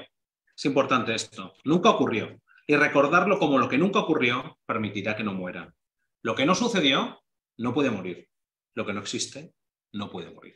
El salto imaginativo que hace que los dos prisioneros se sientan esos personajes recreados los ayuda a encontrar la fórmula mágica que los protegerá de aquí en más, ya que es una mera ilusión el que sean culpables de nada, es en consecuencia una falacia que estén encerrados en esta prisión. Ellos existen como prisioneros y como de la mancha y panza, en la medida en que existen el uno para el otro, y gracias a que los percibimos nosotros, su público receptor. No se preocupe, panza, aquí no nos podemos sentir solos. Si usted existe, yo existo. Si usted desaparece, yo desaparezco. Yo estoy aquí porque usted está aquí. El público también es en la medida de la representación. Cuando ésta acaba, el público se esfuma, desaparece. Dejamos de existir como tal. Tercer salto de la imaginación. Este acróbata del aire, que es nuestro autor, va a dar su tercer salto imaginativo a través de una cadena de transformaciones, la liberación que se llevará a cabo gracias a un incesante juego en el que un proceso de metamorfosis llevará a nuestros personajes a que sean lo que son y a la vez sean otros, en un cambio constante que permita el avance de la acción dramática. Avance que solo sucederá los domingos y en ese túnel intangible que están construyendo. Cada transformación es un paso más hacia adelante, hacia la salida que se abre en la realidad real, la realidad de la fuera, donde habitan el aire fresco y la verdad. Sobrina, Sobrina, ¿dónde están mis revistas de aventuras, el Tony, Cisco Kid, Corto Maltés? ¿Ah? ¿Dónde están? Voz masculina. ¿eh? Soy su sobrina. Bueno, cuando haga así, soy su sobrina. Y cuando haga así, soy otra cosa. Al episodio de Don Quijote con su sobrina se suman otros en los que se hace clara la serie de transformaciones como forma de escape de la realidad que les toca vivir a nuestros prisioneros entre rejos, rejas. Rocinante, noble bruto, nos vamos por la estepa castellana. No pongas esa cara, noble bruto. El día en que me muera, te haré sacrificar para que me acompañes con Toribio, mi galgo corredor, al que también haré sacrificar para cabalgar los tres por las llanuras del inframundo. Hay que ser cabrón y mal pensado. ¿Qué murmuras, Rocinante? Nada, nada, señor, que me parece estupendo. Cabalgar por las estepas del inframundo. Todos muertos y contentos. El prisionero que hace de panza se transforma en la sobrina en un abrir y cerrar de ojos para luego pasar a ser Rocinante, sin más, como si se tratase de los pases mágicos de un prestidigitador. Nuestro dramaturgo se atreve a hacerlos porque ha preparado el terreno para que sean percibidos por el público, tan clarividente como lo es él en su prestidigitación. Hay dos técnicas muy presentes en el estilo de Vargas que hacen que su propuesta de saltos imaginativos se concrete. Por un lado, el humor y por otro, la poesía. El teatro de Vargas se erige como el de un dramaturgo cuya voz está tejida con estos dos hilos en un entramado de gran calidez sensorial. Basten dos ejemplos entre tantos para ilustrar el humor a la latinoamericana de los personajes cervantinos. Pero no te das cuenta de que vas a ser gobernador de una isla. ¿Quién? Tú. Yo. Todo caballero debe donar una isla a su escudero. ¿Para qué, ¿Para qué quiero yo una isla? Para calmar tu sed de poder, tu sed de grandeza, tu sed. Ah, para tanto hacer lo mejor es el agua, señor. Además de gobernar, vas a comer. ¿Cómo es eso? La otra. Uy, Next. Next. next. Llego. Los gobernadores comen ¿Hay bastante? y engordan. ¿Sí? Papas a la huancaina, ceviche de pescado, empanadas mendocinas. No se hable más, no se hable más. ¿Dónde está esa isla? Que la voy a gobernar inmediatamente. Uno de los pasajes que se inventa Arístides en una semblanza muy a con su referente cervantino es el diálogo que de la Mancha mantiene con su perro, al que llama Toribio. El perro, que no existe, como ellos tampoco existen, habla a través de Panza, o sea, Panza ahora hace del perro. Mientras esperamos a Dulcinea, cuéntame, Toribio, ¿cómo van tus cosas? Mis cosas. Sí, tus asuntos perrunos. Más o menos. Mm. Más o menos, señor, más o menos. ¿Sí? Continúa. Si la vida no es fácil para los seres humanos, tampoco lo es para su mejor amigo, que somos nosotros. Mejor amigo del hombre. Vaya título. Cabrones. Si total no dice nada. Si nos olvidamos de darle comer, pues no importa. El mejor amigo aguanta. Hay que ser cabrón para darle galletas de pescado a un perro, digo yo. ¿Por qué no eligieron a la gallina como mejor amigo? A ver, si una gallina le trae las pantuflas, el periódico, una mierda le van a hacer a la gallina eso. Salto de la imaginación. Último triple inmortal. El último salto lo da nuestro autor a través de la poesía. Se avecina el fin de nuestro héroe y su escudero, como sabemos, ¿qué lo hará? Trata de convencerlo de que si siguen jugando a ser otros, ilusionados, combatientes, podrán vencer con una nueva destreza el desafío de la muerte. De la mancha afiebrado en el centro del espacio, Panza le habla con urgencia. De la mancha, tenemos que jugar. Escucha, hoy es domingo y hace un bonito día para seguir jugando. En el patio nos esperan. Los ojos callan porque ya no somos nosotros, sino recuerdo de cuando no éramos de hielo, sino de carne. En medio de la oscuridad, la inmensa noche gira y nosotros giramos con ella. El más hondo castigo. No poder abrazarnos cuando lo necesitamos. No poder tocarnos cuando lo necesitamos. No poder sujetarnos para no derrumbarnos. Sujetarnos para no caer cuando nos enredamos en nuestra soledad, con nuestra propia soledad de púas, encarcelados en un haz de sombra. No se vaya, señor caballero, no se vaya. Hoy es domingo y es un buen día para jugar. No nos deje, señor caballero, no nos deje. Nuestro héroe, el de Vargas y el de sus espectadores, vuelve a jugar en cada actuación y a creer que es posible salir de la cárcel, salvar a los niños, llevar a cabo su plan de, de redención. Su liberación, como la de Panza y la de los dos prisioneros que llevan de su mano a tantos otros, torturados, silenciados, desaparecidos, será solo posible en esta realidad virtual creada por la imaginación. Paso ahora, en la medida de lo posible, a la segunda obra titulada Instrucciones para abrazar el aire. Caminar en círculos. La casa, la tumba. Instrucciones para abrazar el aire nace a partir de la historia real de una casa en las afueras de la ciudad de La Plata, ciudad en la que nací, capital de la provincia de Buenos Aires, diezmada por la represión organizada del terrorismo de Estado que se dio en llamar proceso de reorganización nacional, llevado a cabo por la Junta Militar, gobierno de facto, que tomó el poder el 24 de marzo de 1976 luego de un cudeta. En ella vivían Daniel Mariani y su mujer Diana Teruggi y su niñita pequeña de tres meses, Clara Anaí Mariani. Pero además, esa casa era el lugar en el que había, eh, en un cuarto, había un patio con un limonero muy hermoso que está muy presente en la obra, pero luego por una construcción de un compañero, montonero, ingeniero, habían creado un cuarto en el que de manera tapada o tapadera había una imprenta y en esa imprenta se generaba la revista Evita Montoneros en la que se hacían las denuncias de desapariciones y tortura. Em, eh, anciana, lo veo pensar y me pregunto, ¿cuántas casas caben en la vida de una persona? ¿Cuántas sillas conforman la espera de una mujer como yo?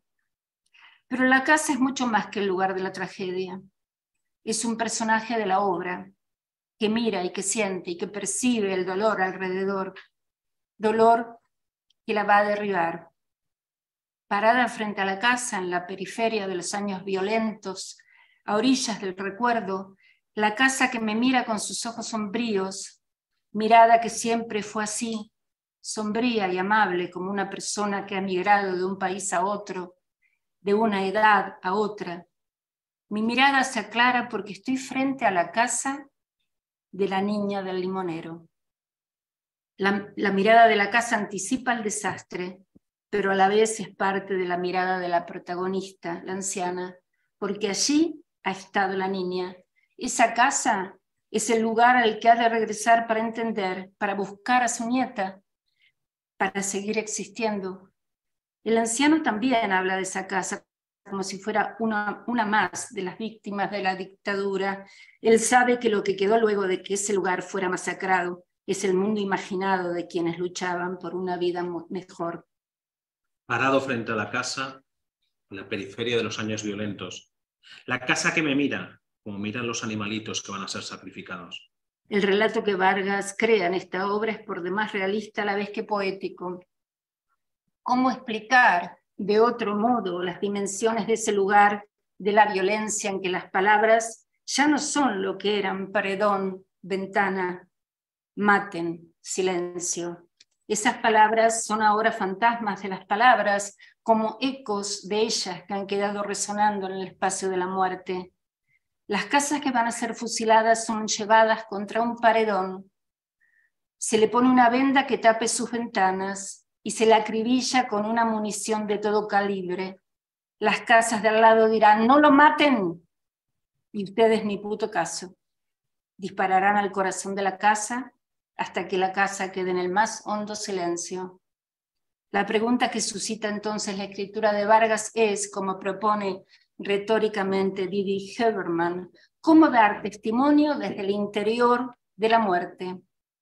Para este crítico, la respuesta a semejante pregunta supone que una suerte de contradicción. El testimonio significa explicar, pese a todo, lo que es imposible explicar del todo, o más exactamente, crear, pese a todo, la posibilidad de un testimonio. Niña y limonero.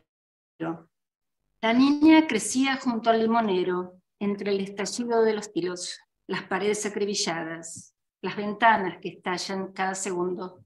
La niña era niña y el limonero niño, mientras los tilos caían con desesperación. Aunque el limonero crezca, seguirá siendo limonero. Aunque la niña crezca, seguirá siendo niña. Por eso, gracias a la magia de la palabra poética, el tiempo se ha detenido y no hay ni habrá pasado ya ni presente.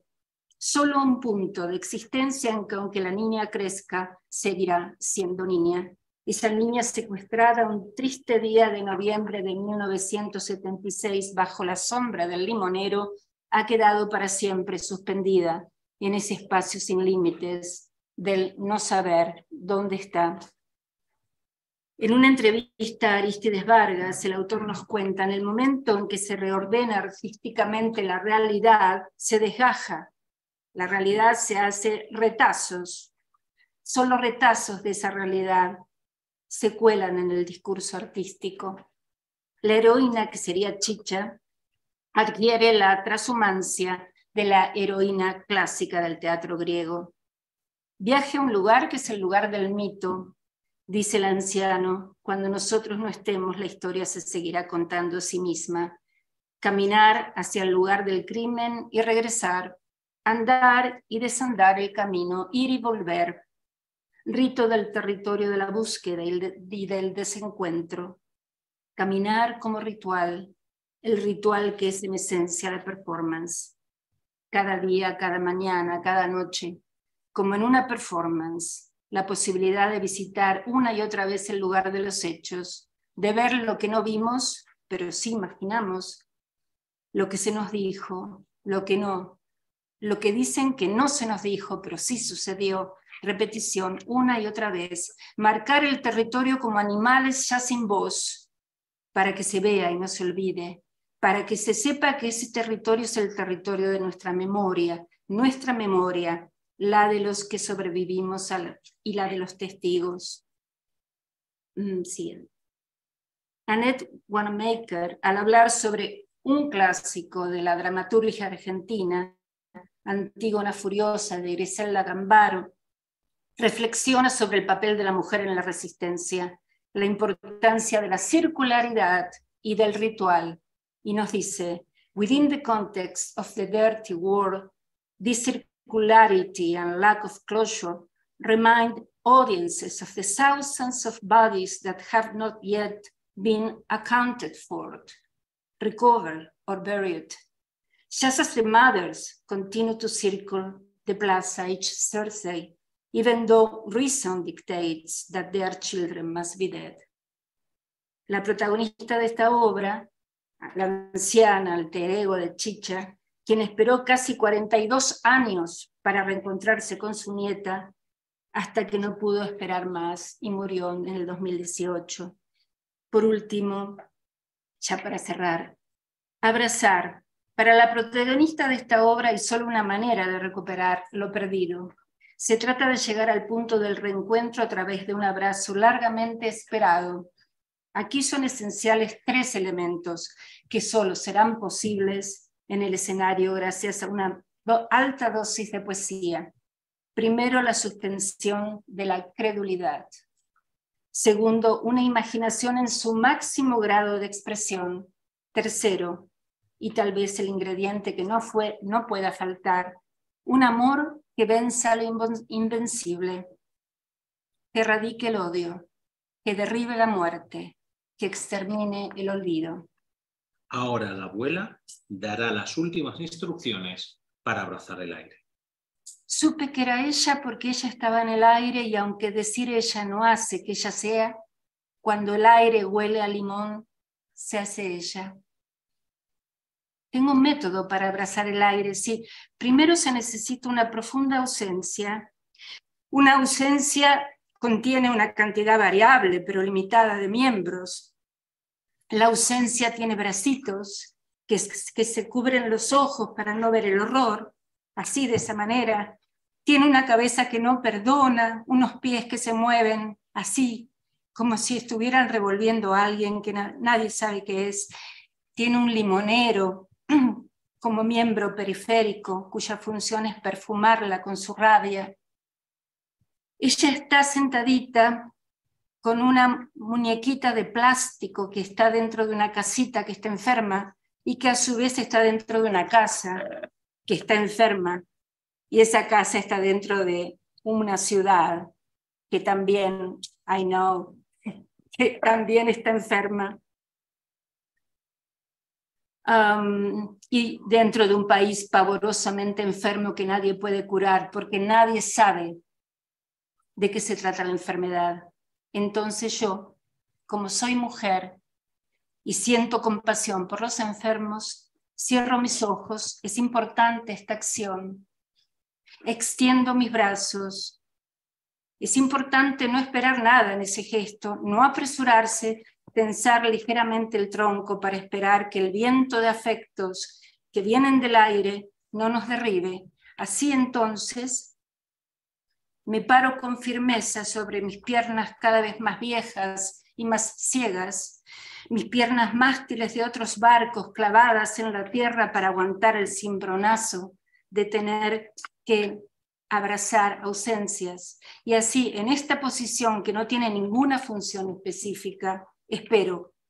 Entonces ella aparece, se mira a mí, me abraza, y en el momento en que ella me abraza, se vuelve más real que yo.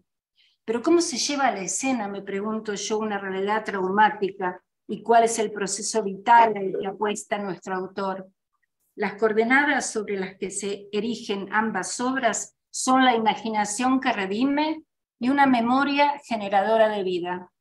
Gracias a ambas, en razón, los prisioneros lograrán construir un túnel imaginario para alcanzar la libertad y en instrucciones la anciana logrará recuperar la presencia de su nieta ausente. Esa realidad no ocurre en el espacio textual, sino en el punto de inflexión entre lo representado y lo que el público percibe.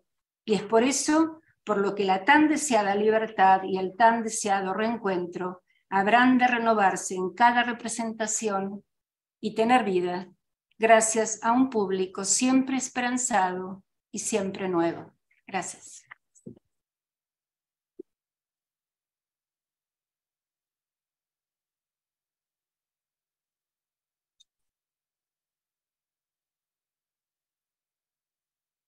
Pues muchas gracias. Eh, yo creo que si podéis venir aquí eh, los otros dos.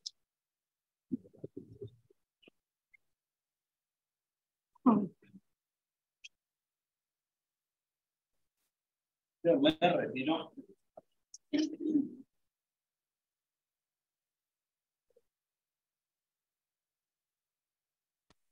Bueno, tenemos unos minutos para una, un par de preguntas, eh, comentarios sobre alguna de las impresiones. No, la resolución.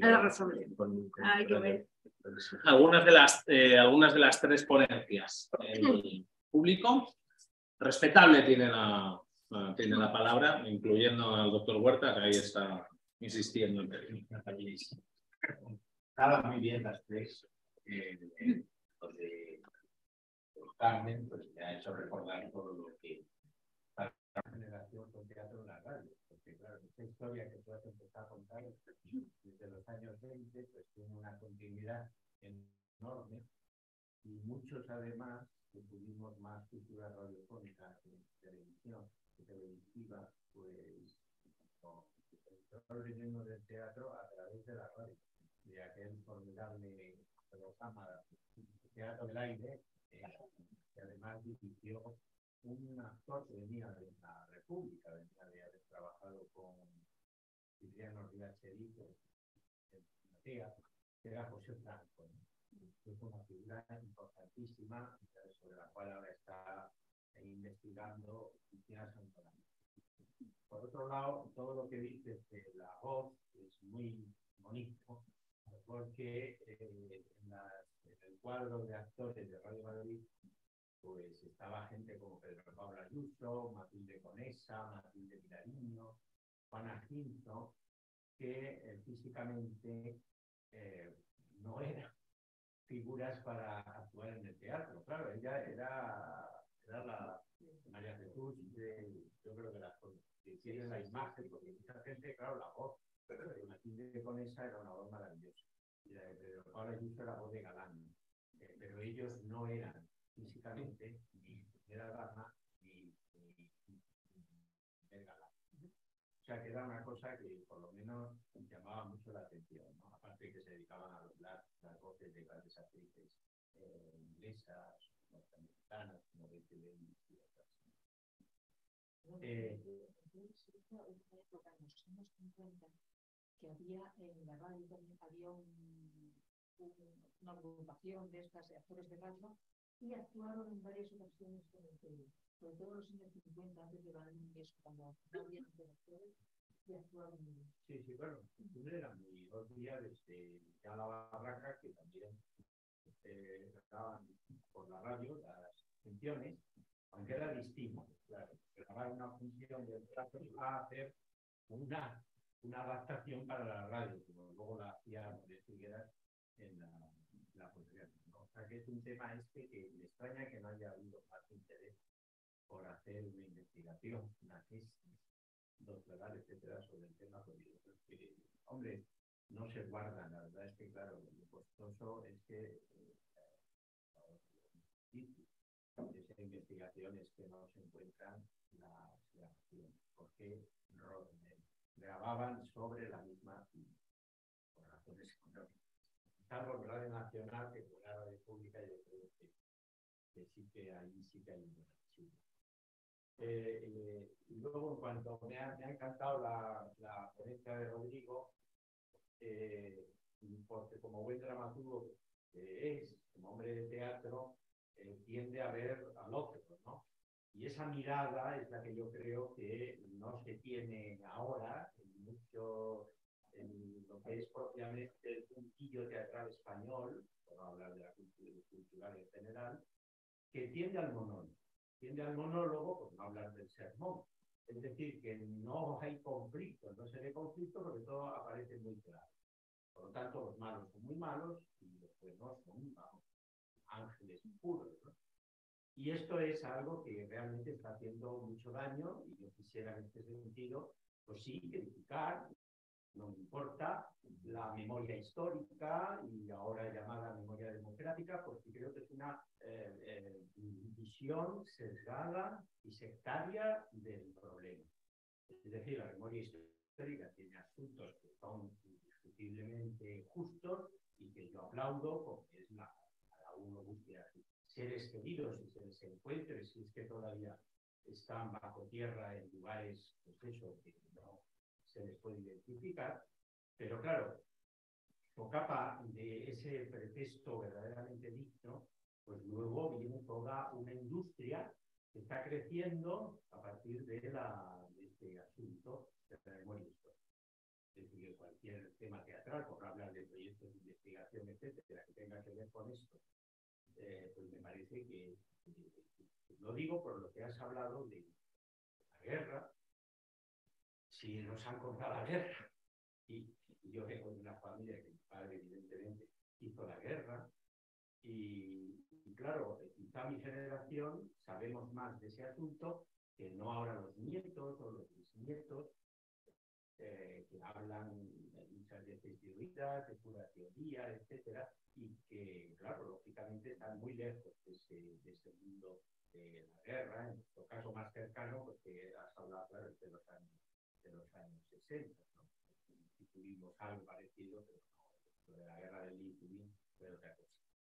O sea que, vamos, me parece una reflexión que hay lanzas, eh, yo creo que muy, muy oportuna y no obstante aquí hay dramaturgos que también están eh, practicando ese modo, diríamos, dialógico, por hablarlo con términos de Batín, de la, del teatro, ¿no? es decir, no el modo monológico de enseñarnos su verdad, la verdad, como se hacía antes también por parte del franquismo, eh, e, y, e, intentar, bueno, pues poner en escena el ¿no? Y ya en este sentido, pues recuerdo que la, la obra de mi admirado José Ramón Fernández, la versión que hizo del Max Out, no sé si la visteis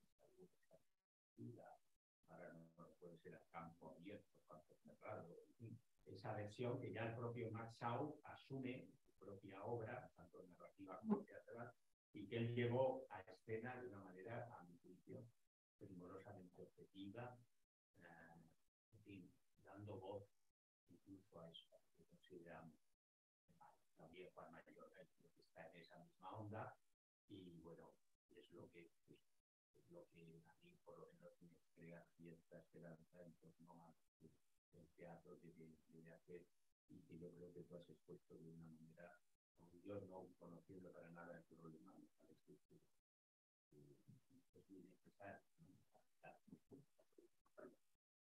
Es, una, es un comentario que te hago a,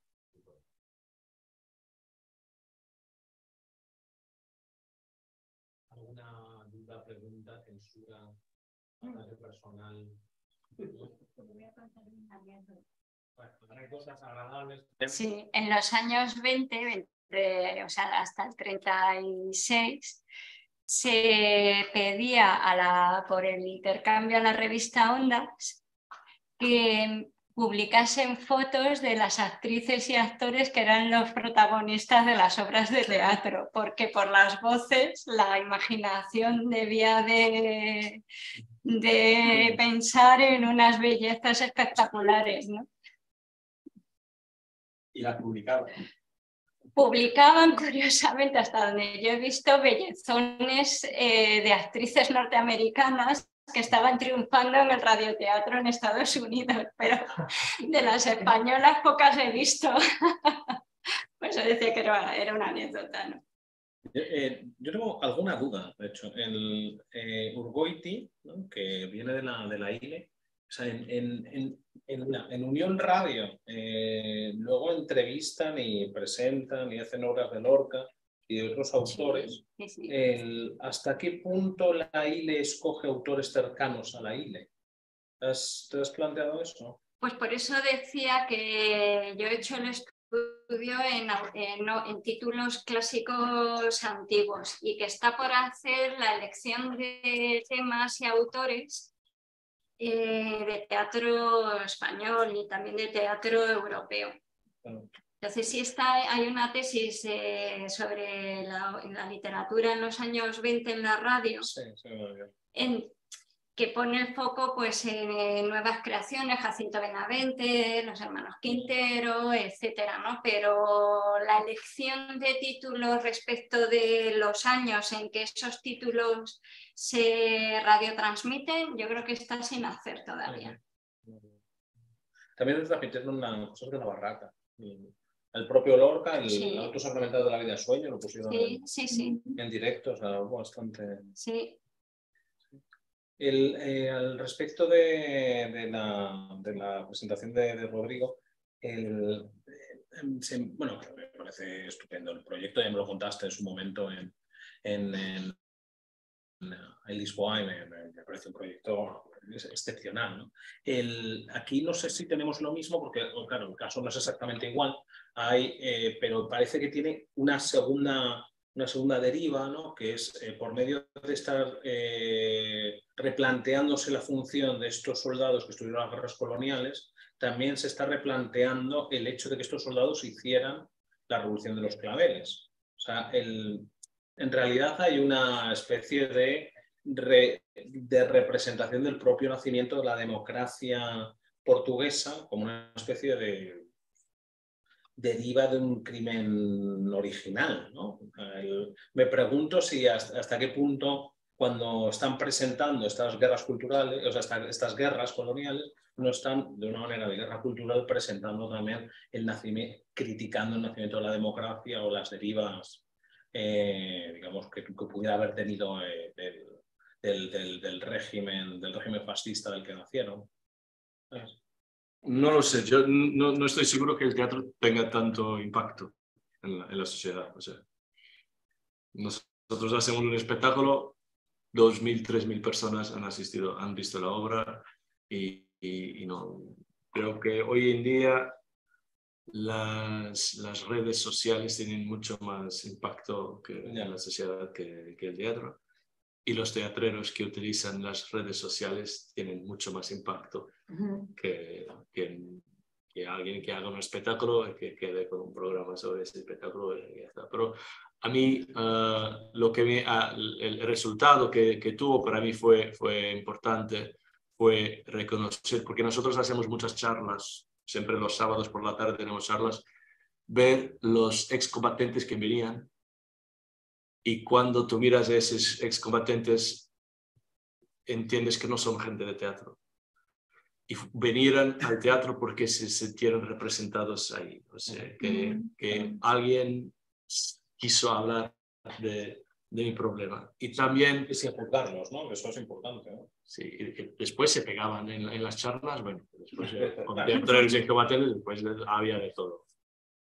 Pero más que eso aún, de una o dos personas a las a quien quiero mucho, que después de ver la obra me dijeron, mira, estoy mirando a esos hombres de otro modo. Uh -huh. y, y, cuando es así, aún así se queda un poco satisfecho. ¿no? Ese ejercicio de que hablamos de, de, teatro es eso, es, es poner los, las dos razones, porque yo soy como, yo cito siempre Woody Allen, que, que dice, si yo tuviera un mensaje, no habría escrito una obra de teatro, pero sí una, una carta. Para, para, y me quedo siempre muy triste cuando la gente me pregunta, entonces, ¿cuál es tu mensaje? Mi mensaje no, es, no tengo mensaje. Es, ahí está el problema. Es por ahí. Si no, hecho un meeting. Sí, si quiero un mensaje, un cartel, te mando un email. No, es que quiero pensar sobre eso. Yo, con respecto a la, la charla estupenda de, de María Estela, el, me, yo me preguntaba al respecto si has investigado alrededor de Aristides Vargas y cómo llega el mito quijotesco a él. Sí. Porque, el, claro, o sea, el, pues hay una especie de mesianismo en las visiones americanas de, de, de Don Quijote Sí, sí. que, es, que, es, que es inherente. ¿no? En el siglo XIX tenemos una, vamos, unas interpretaciones en las que aparece Don Quijote como representación de, como representación de América, luego de la libertad. O sea, tenemos una especie de como de. Ya las lecturas de Don Quijote son siempre románticas, ¿no? Sí. Clásico de Close. Y en el caso de, de América son casi sublimadoras. O sea, Sublimadoras. Absoluta. ¿Cómo llega? Mira, eh, la anécdota la conozco porque, como expliqué, Aristides junto con otra eh, actriz argentina crearon este grupo de, de teatro llamado Mala Hierba. Pusieron este título por lo de Mala Hierba nunca muere, ¿no? Uh -huh. Y, um, y, a ese grupo fueron llegando otros exiliados, entre ellos Charo Frances, que es la mujer actualmente de Aristides y es una española, y que es una excelente actriz, muy, muy, que es la que hace en la, en la producción de las instrucciones de la anciana, bueno, en fin, muy, muy um, articulada. Y entonces ella cuenta que eh, existía la posibilidad de ir al Festival de, de Almagro. Uh -huh. Y entonces ahí dijo, ¿por qué no ponemos esta, esta representación de los domingos en la prisión en realidad se representaba el Quijote? Y así juegan con esta idea porque lo van a traer a España. Uh -huh. Y entonces es como si fuera un shortcut, una manera, un atajo, digamos, ¿no? Eh, nada, me interesaría saber qué opinan los españoles de esta interpretación, o cómo lo viven, o cómo lo sienten. A mí me divierte, por otra parte me emocionan los textos en los que, en los que Panza le dice, sigamos jugando, y, y todo lo que eso, cómo se conecta con lo real, que son los prisioneros, ¿no? Y que, y que están tratando de sobrevivir a la tortura y a la desesperación. Entonces. Claro, hay un texto precioso de un, no recuerdo el nombre ahora, de un,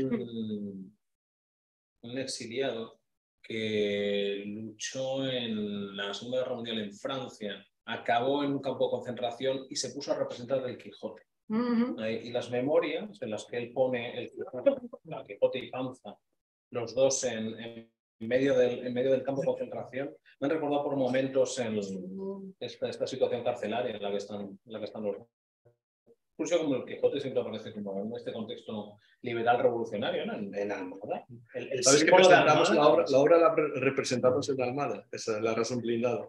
Sí, Y estaba Aristides. Sí, sí. Claro. ¿Cuándo fue esto?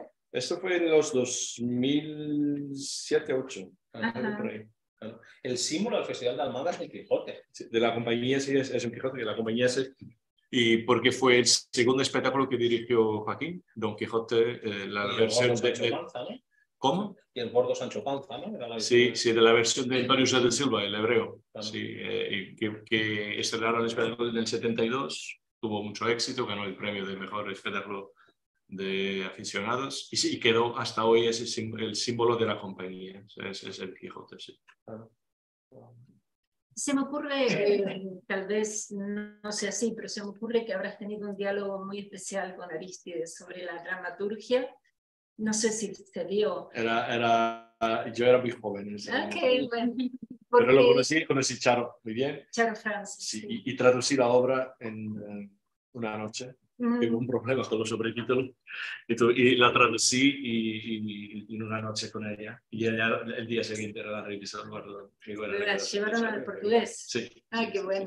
Bueno, conclusión, que, que a una serie de preguntas que él se hace como dramaturgo creo que pueden ser muy similares a las que tú te haces. Cómo llevar a, a la escena la muerte, el dolor, lo que se ha sufrido. ¿Cómo? Que no, no quieres dar un mensaje, está claro. Sí, un mensaje complejo, ¿no? O sea, una, bueno, una serie de preguntas.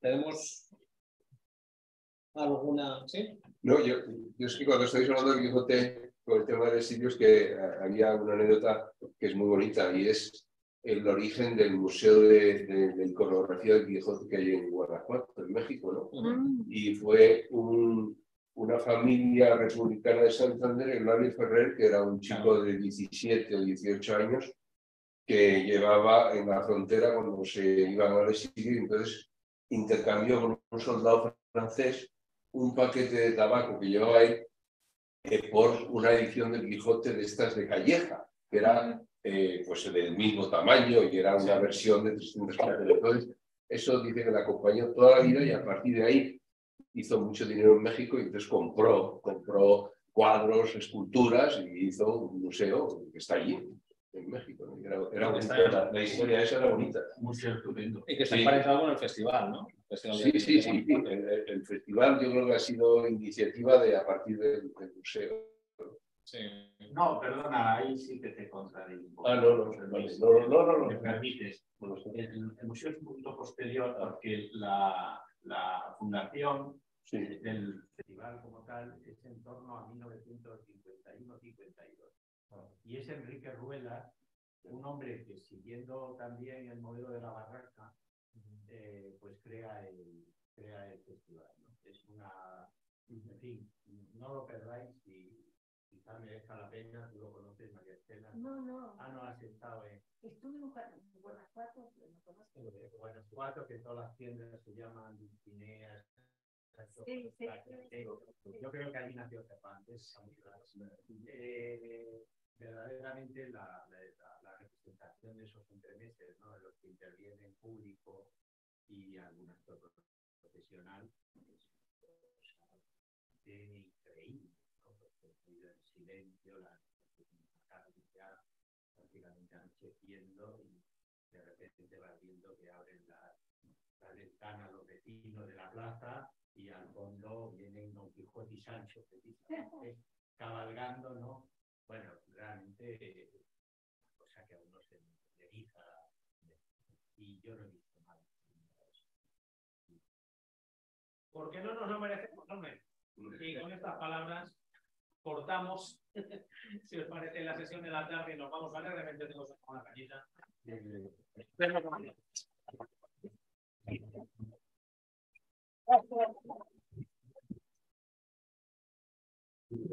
Ah. Venimos por la mañana y comemos. Vale, vale, estupendo.